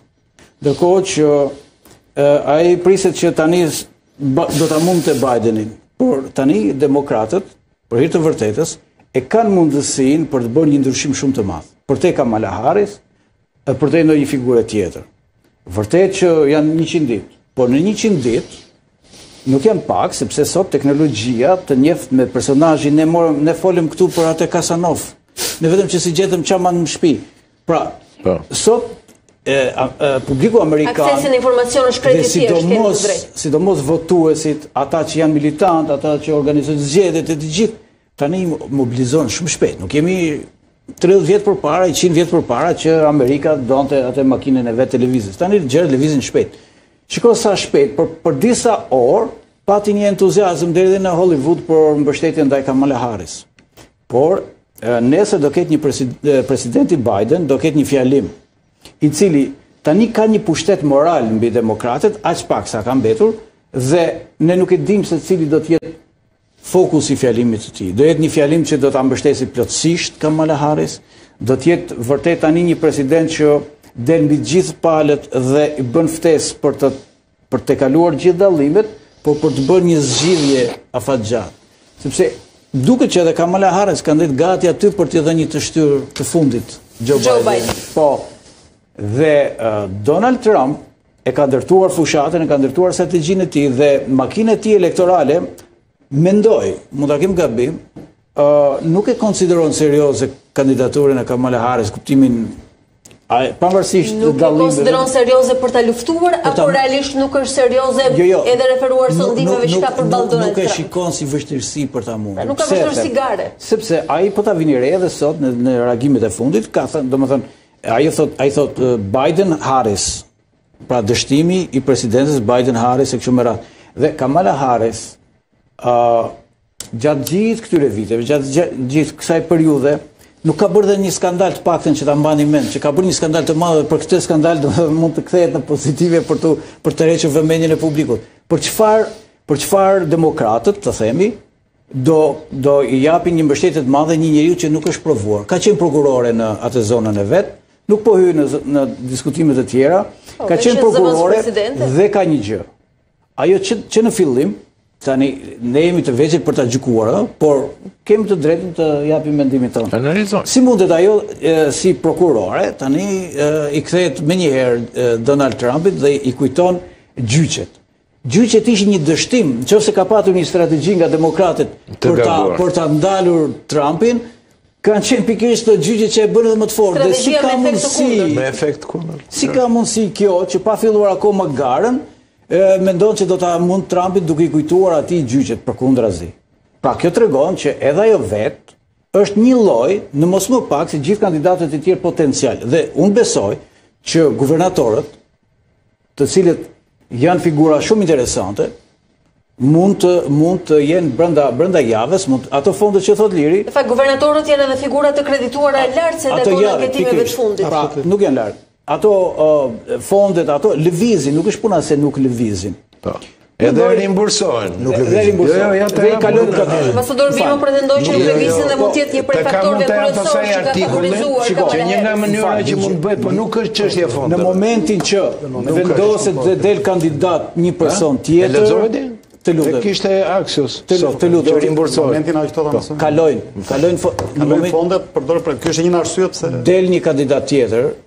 Në moment që del një kandidat tjetër, prapë në emër të bashkimit të gjithë do shkojnë atje tek edhe fondet, edhe mbështetja.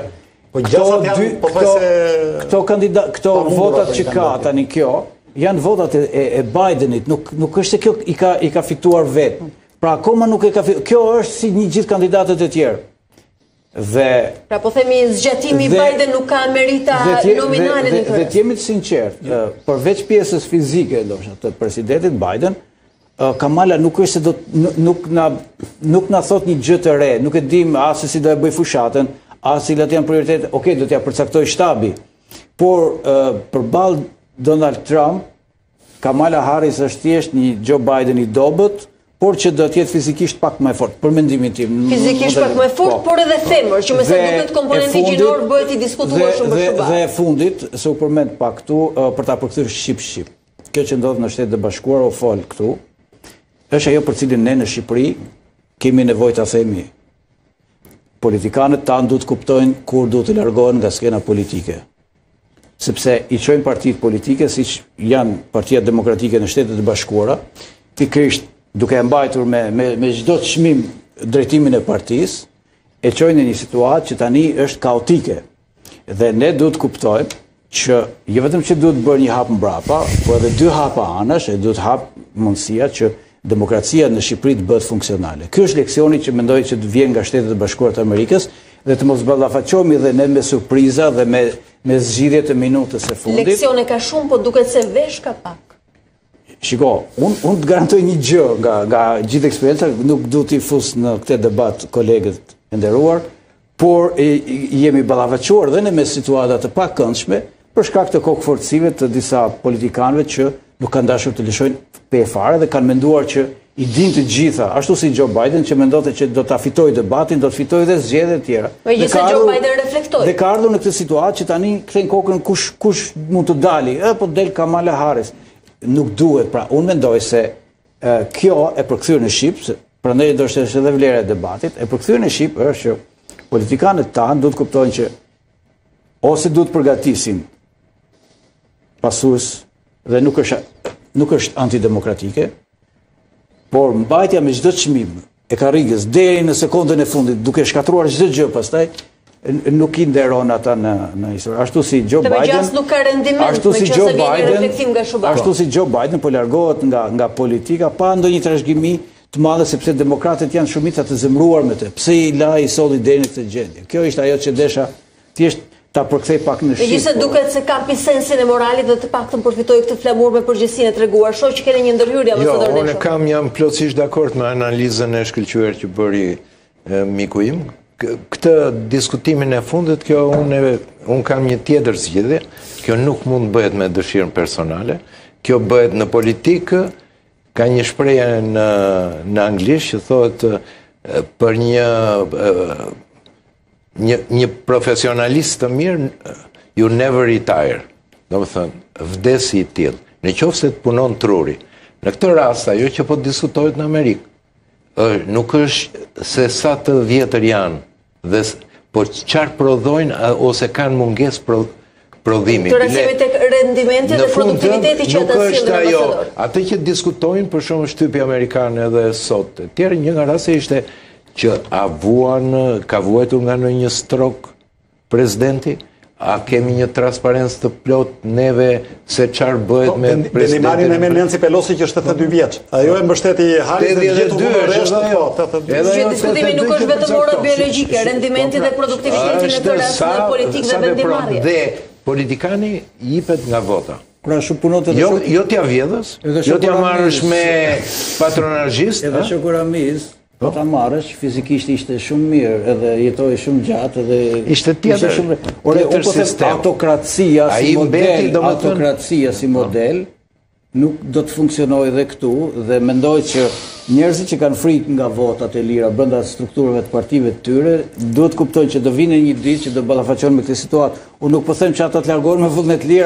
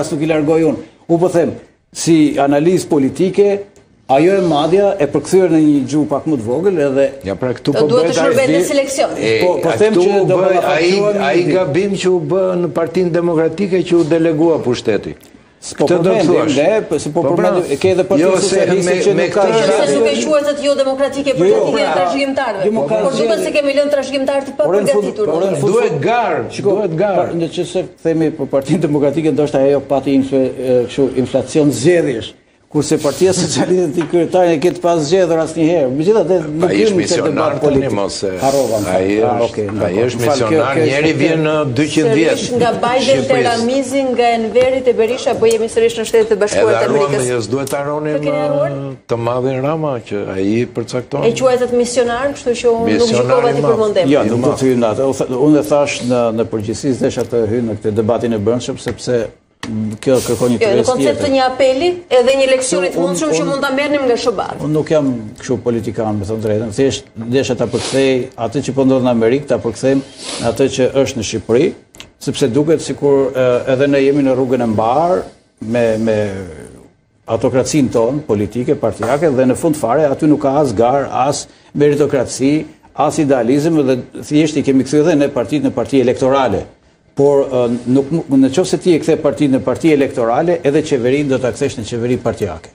Kaq, kaq e thjeshtë. E mbyllim këtu me Shqipërinë, ambasador Bimo, a mund të konsiderohet në momente të caktuara kaq e pagjurmë Kamala Harris?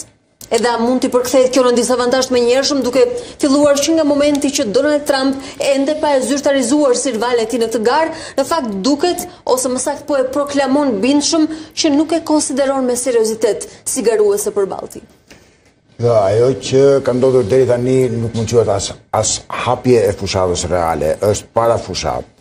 Fushata hapet kur kandidatët prezantojnë programet e tyre, sidomos ato ekonomike, sepse ka një parim të shenjtë që në qoftë se ti mbetesh dhe thua flet për të kaluarën, nuk fiton dot kurrë zgjedhje në Amerikë. Në qoftë se nuk e projekton të kaluarën në funksion të të ardhmes, pra t'i thuash amerikanëve se çfarë do bësh ti për ta në të ardhmen Edhe ti mund t'i humbësh zgjedhjet edhe duke qenë presidenti më i suksesshëm në botë, nëse nuk je në gjendje që t'i thuash që prej meje ke fituar këtë jetë që ke sot, po ama katër vitet e ardhshme do ta dyfishosh këtë. Por në qoftë se nuk je në gjendje të projektosh këtë mesazh, nuk i fiton dot zgjedhjet. Ajo që e, është evidente edhe nga e, presidenca e parë Trump e, është që Trumpi është një politikan i një lloji të veçantë dhe ka aftësinë që të gjithë politikën e kthen në transaksion. Thotë, po s'pagove lekët, unë nuk të mbroj. Po s'pagove lekët, ti nuk bën këtë. Po s'pagove lekët, unë nuk bëj atë. Politika, sado ta thjeshtosh, ka pak më shumë veshje, për këtë mesazh bazë. Po a është i pranueshëm ky lloj pragmatisti i një biznesmeni po në politikë? Këtë po mundohem të them që shpesh shkon, por ka nevojë dhe për një veshje pak më të ngrënshme, le të themi, pak më të komunikueshme. Jo një kamuflim më të pranueshëm. Po, jo thjesht transaksion. Kjo nuk e pengoi që të vinte në pushtet herën e parë, nuk më ndoshta nuk e pengojë që të vinte në pushtet edhe një herë tjetër.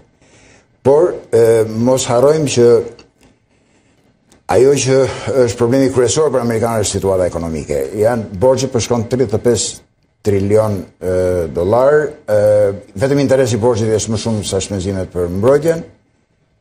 është borxh i përmasave që Shtetet e Bashkuara të Amerikës, thënë nga goja e ekspertëve, nuk janë në gjendje ta paguajnë, nuk do ta paguajnë dot asnjëherë. Dhe ajo që do të ndodhë është thjesht një sfumim përmes printimit të më shumë parave, që të rritet inflacioni duke bërë që të paguajnë më pak duke zhvleftësuar paranë. Janë metoda që janë përdorur edhe përpara nga Shtetet e Bashkuara të Amerikës edhe në Ambasador Bilma, a po më thoni po që momenti i prezantimit sidomos të programeve ekonomike mund të jetë predominanca e njërës prej kandidaturave? Këtë desha të them, po. Domethënë që deri më sot ne po flasim për të kaluarën e kandidatëve.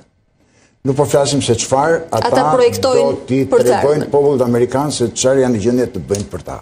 Natyrisht kredencialet me të cilat ti futesh në lojë janë shumë të rëndësishme, sepse të prezantojnë edhe krijojnë atë lloj besimi që mesazhi që ti po thua do jesh në gjendje që ta zbatosh, ta çosh përpara. Për këtë për këtë të duhet sfondi në të cilin zonja Harris mundet të ketë shumë më tepër dobësi se sa zoti Trump, që ka nga mbrapa një perandori suksesesh në në biznes apo në në presidencë etj etj, ajo ka një CV shumë më të varfër në kuptimin e arritjeve politike, por kjo nuk do të thotë asgjë në qoftë se ajo është në gjendje që t'i paraqesë publikut amerikan një projekt të besueshëm, fare mirë mund të kapërcejë pragun edhe të arrijë fitoren. Problemi kryesor që shoh unë tek të dy kandidatët është që Trumpi ka avantazhin e, e, e kundër establishmentit, kundër Kësaj gjësë që po i merr frymën gjithë botës. Dhe këtë frymë, ti e ke në Shqipëri, e ke në Rusi, e ke në Kinë, e ke kudo në gjithë Europën Perëndimore, siç pamë edhe gjatë zgjedhjeve për Parlamentin Evropian. Fryma kundër kësaj që na qeveris, që është një avantazh kryesisht retorik deri në momentin që vjen në pushtet. Ky është avantazh i Trumpit. Avantazhi i disavantazh dhe disavantazhi i zonjës Harris sepse me sa shoh, Amerikanët e identifikojnë këtë me establishmentin, e identifikojnë këtë Partia Demokratike që ka qenë në pushtet, çfarë ka bërë, kur niveli i jetës Amerikanëve, qoftë kosto e shëndetësisë, qoftë këtë, është më i keq se ç'ka qenë para 4 vjetësh. Që në qoftë se ajo që do kërkohet është që, ajo që do i duhet kësaj zonjës, për të pasur sukses, është që të mund të rregullojë të gjithë mënyrën e, e të projektuarit të vetes vetë, Mos të identifikohet me establishmentin. Ekzakt. Pak sekonda publicitet të nderuar shikues dhe ne rikthehemi me pjesën e tretë dhe minutat e fundit të debatit, ju vazhdoni të na ndiqni.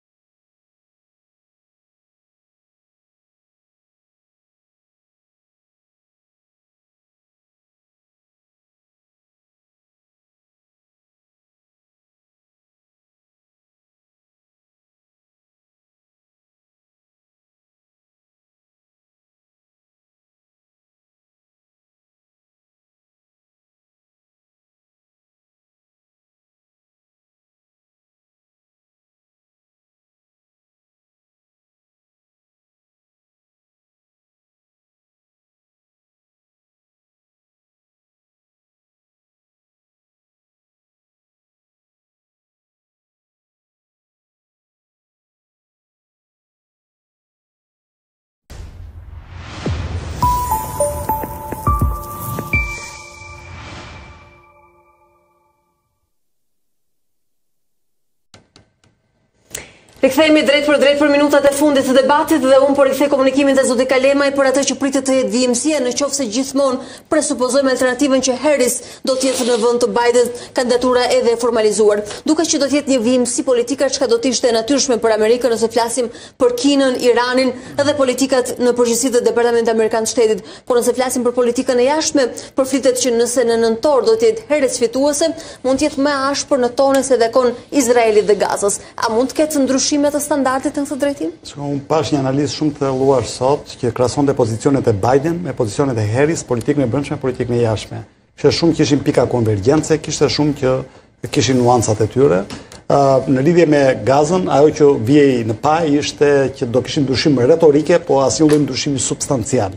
Pra politika do qëndronte po pak a shumë në të njëjtat nivele. Përmbajtësisht besohet se do të jetë njësoj. Një kontinuitet, me atë që kemi pa me Biden, dhe me, meqë ra fjala, Biden ka një takim me Netanyahun tani si president e anulloj. Po, me sa, me sa duket, por ata janë shumë pranë arritjes së marrëveshjes për pengjet. Domethënë kjo u konfirmua edhe nga Netanyahu, u konfirmua edhe nga Egjipti dhe nga Katari që po luajnë rolin e ndërmjetësimit. Ë, nga ana tjetër pak a shumë dihet qëndrimi i zotit Trump, sepse për mua fushata elektorale nuk fillon, siç tha ambasadori ditën që do zyrtarizohet apo do fronozohet në rastin konkret zonja Harris. Fushata elektorale atje ka 6-7 muaj që ka filluar, janë mbledhur donacionet e para, janë ndezur motorat, kemi një, e kemi programin elektoral të partisë republikane. është i shpaldur, sot që, që flasim dhe është i publikuar. Pra programi i cili i serviret publikut. Natyrisht ai program pastaj mbështetet në një program shumë më i detajuar në lidhje me politikat publike që ata do të marrin kur të jenë përsëri në pushtet, por një program e kemi. Dhe dhe tjetra është ne nuk ndryshon vetëm presidenti tani në Shtetet e Bashkuara të Amerikës ose Po, se në çdo rast do ndryshojë, aty do ndryshojnë dhe një tretat e guvernatorëve, e senatit, e dhomës së përfaqësuesve, pra do shihet, do kemi një frymë që do jenë republikanët në kontroll të dy dhomave të legjislativit, por edhe të pjesës më të madhe të guvernatorëve, që kanë një rol shumë më të madh për sa i përket shteteve, Shtetet e Bashkuara të Amerikës, duke qenë shtet federal, apo do kemi një president i cili nuk do të kontrollojë dot dhomat e kongresit. Duket që republikanët të paktën te kongresi janë shumë pranë ata kontrollojnë dhomën e përfaqësuesve dhe ndaheshin me vetëm një votë, që ishte Joe Manchin, ky uh, senatori nga Virginia Perëndimore, i cili u deklarua si pavarur në maj, akoma nuk e ka ndarë mendjen do jetë përsëri demokrat apo do do rrijë i pavarur, dhe pritet që ta humbasin dhe kontrollin në Senat. Kështu që duhet parë se sa zonja Harris me, meqë ra fjala ishte ajo që përcaktonte votën në, në Senat, sepse ndaheshin pikërisht me një votë dhe zëvendëspresidenti që voton në, në raste decizive. Dhe për ta përmbyllur shumë e rëndësishme, nuk është vetëm debati ekonomik, natyrisht debati ekonomik është shumë, shumë i rëndësishëm. Ndoshta është prevalent për kreditimet e para të kandidaturave? Absolutisht, nga çështja e borxhit që nuk është e perceptohet shumë gjerësisht në popullatë është më shumë debat i elitave e tjera, te çështja e inflacionit që prek amerikanin në mënyrë të drejtpërdrejtë, te çështja e konsumit, te çështja e papunësisë, por janë dhe debatet kulturore shumë të rëndësishme në Shtetet e Bashkuara të Amerikës.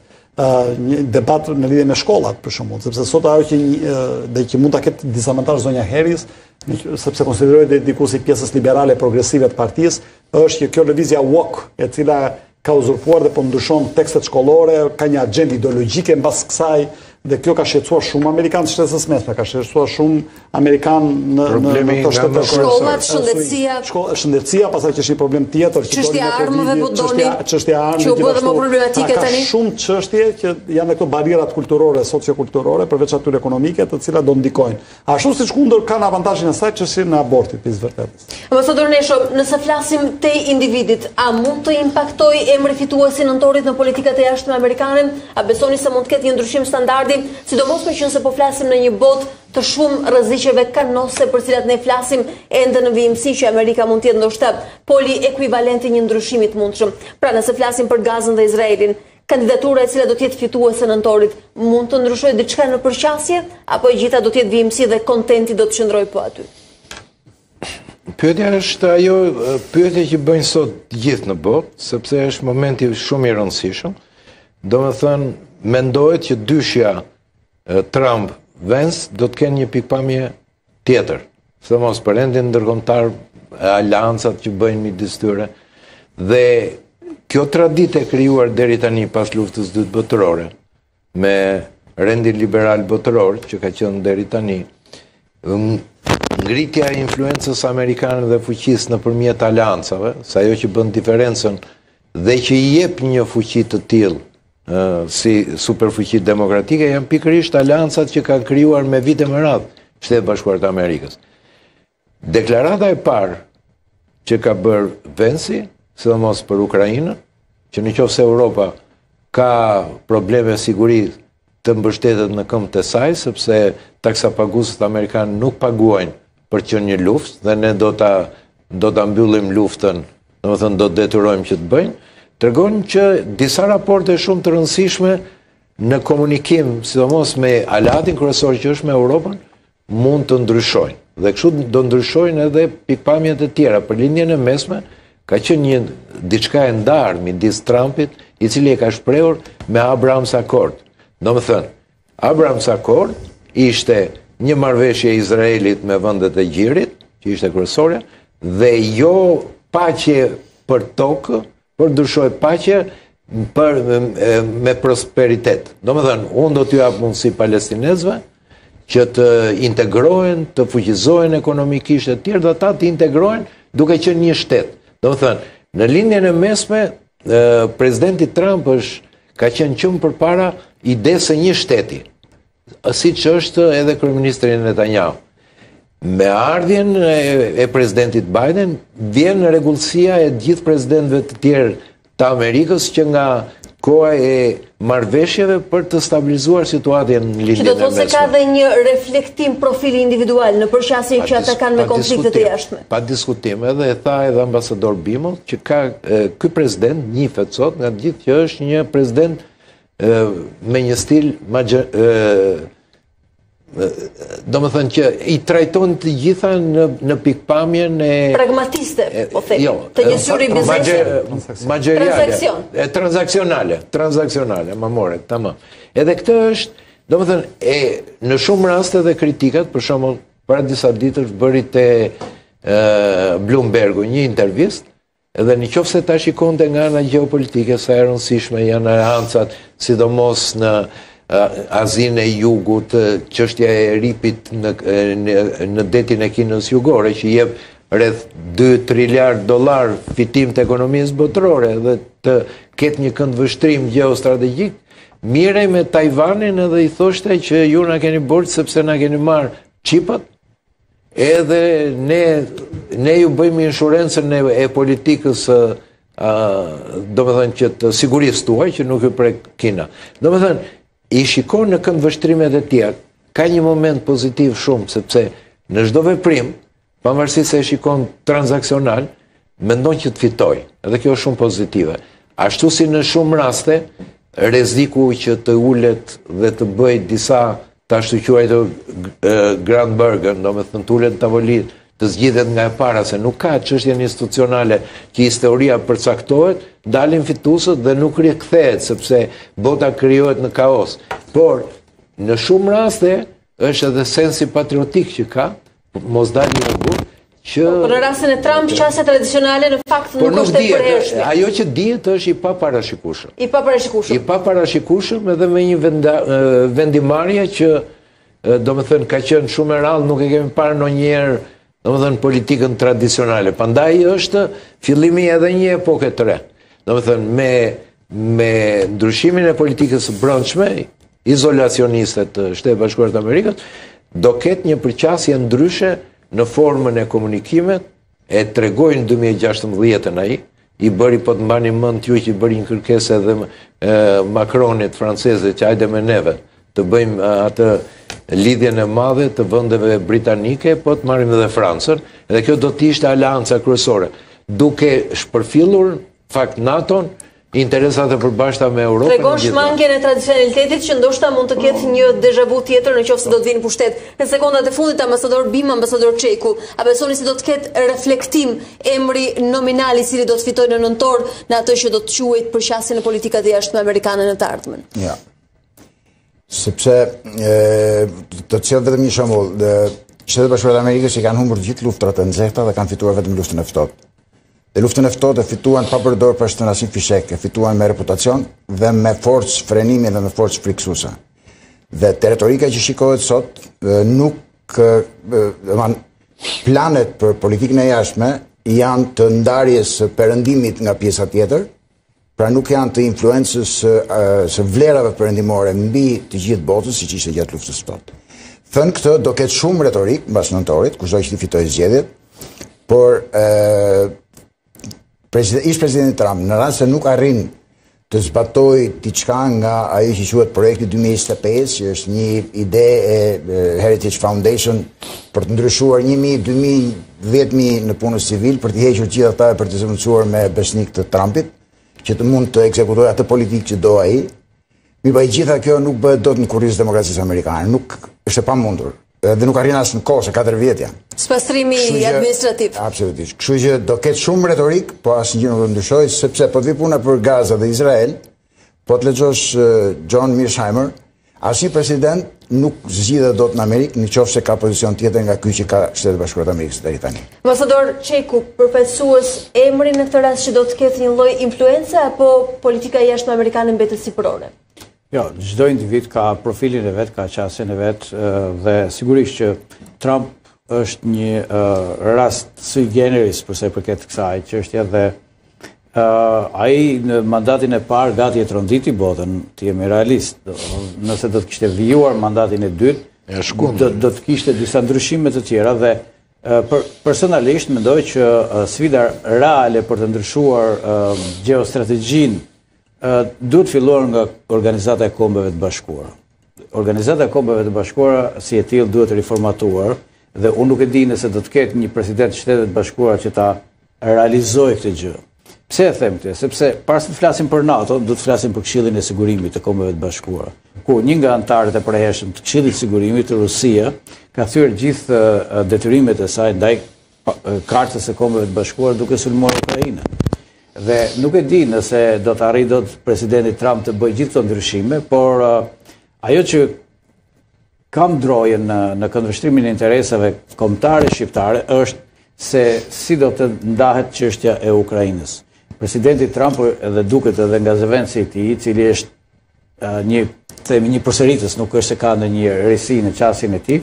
ë uh, një paqe në në në në Ukrainë duke e vendosur këtë me dhënie toka Rusisë, pra me koncesion ndaj Rusisë, do të ishte shumë e dëmshme e, si precedent edhe nuk e përjashtoj që të prekë edhe Ballkanin dhe Kosovën. Që do të ishte shumë e rrezikshme, por ama unë po ju dëgjoj të flisni për Trumpin si president faktik sot. Le le të rezervojmë, le të rezervojmë ë finalizimin e kandidaturës së demokratëve dhe pastaj do shikojmë, por në përgjithësi Trump e ka e ka ndërtuar, u tha dhe këtu, e ka ndërtuar programin e vet, i cili do jetë një program sfidues për për shumë kënd, por edhe për shqiptarët. Do do të mendojmë se si nëse presidenti Trump do fitojë, duhet të mendojmë seriozisht se si do t'i mbrojmë interesat tona, si do të mbrohet Kosova me këto çfarë ka arritur deri tani. Edhe po të mbetet kjo administratë. Edhe këta janë problematikë se shtyhen po, nga interesat e grupeve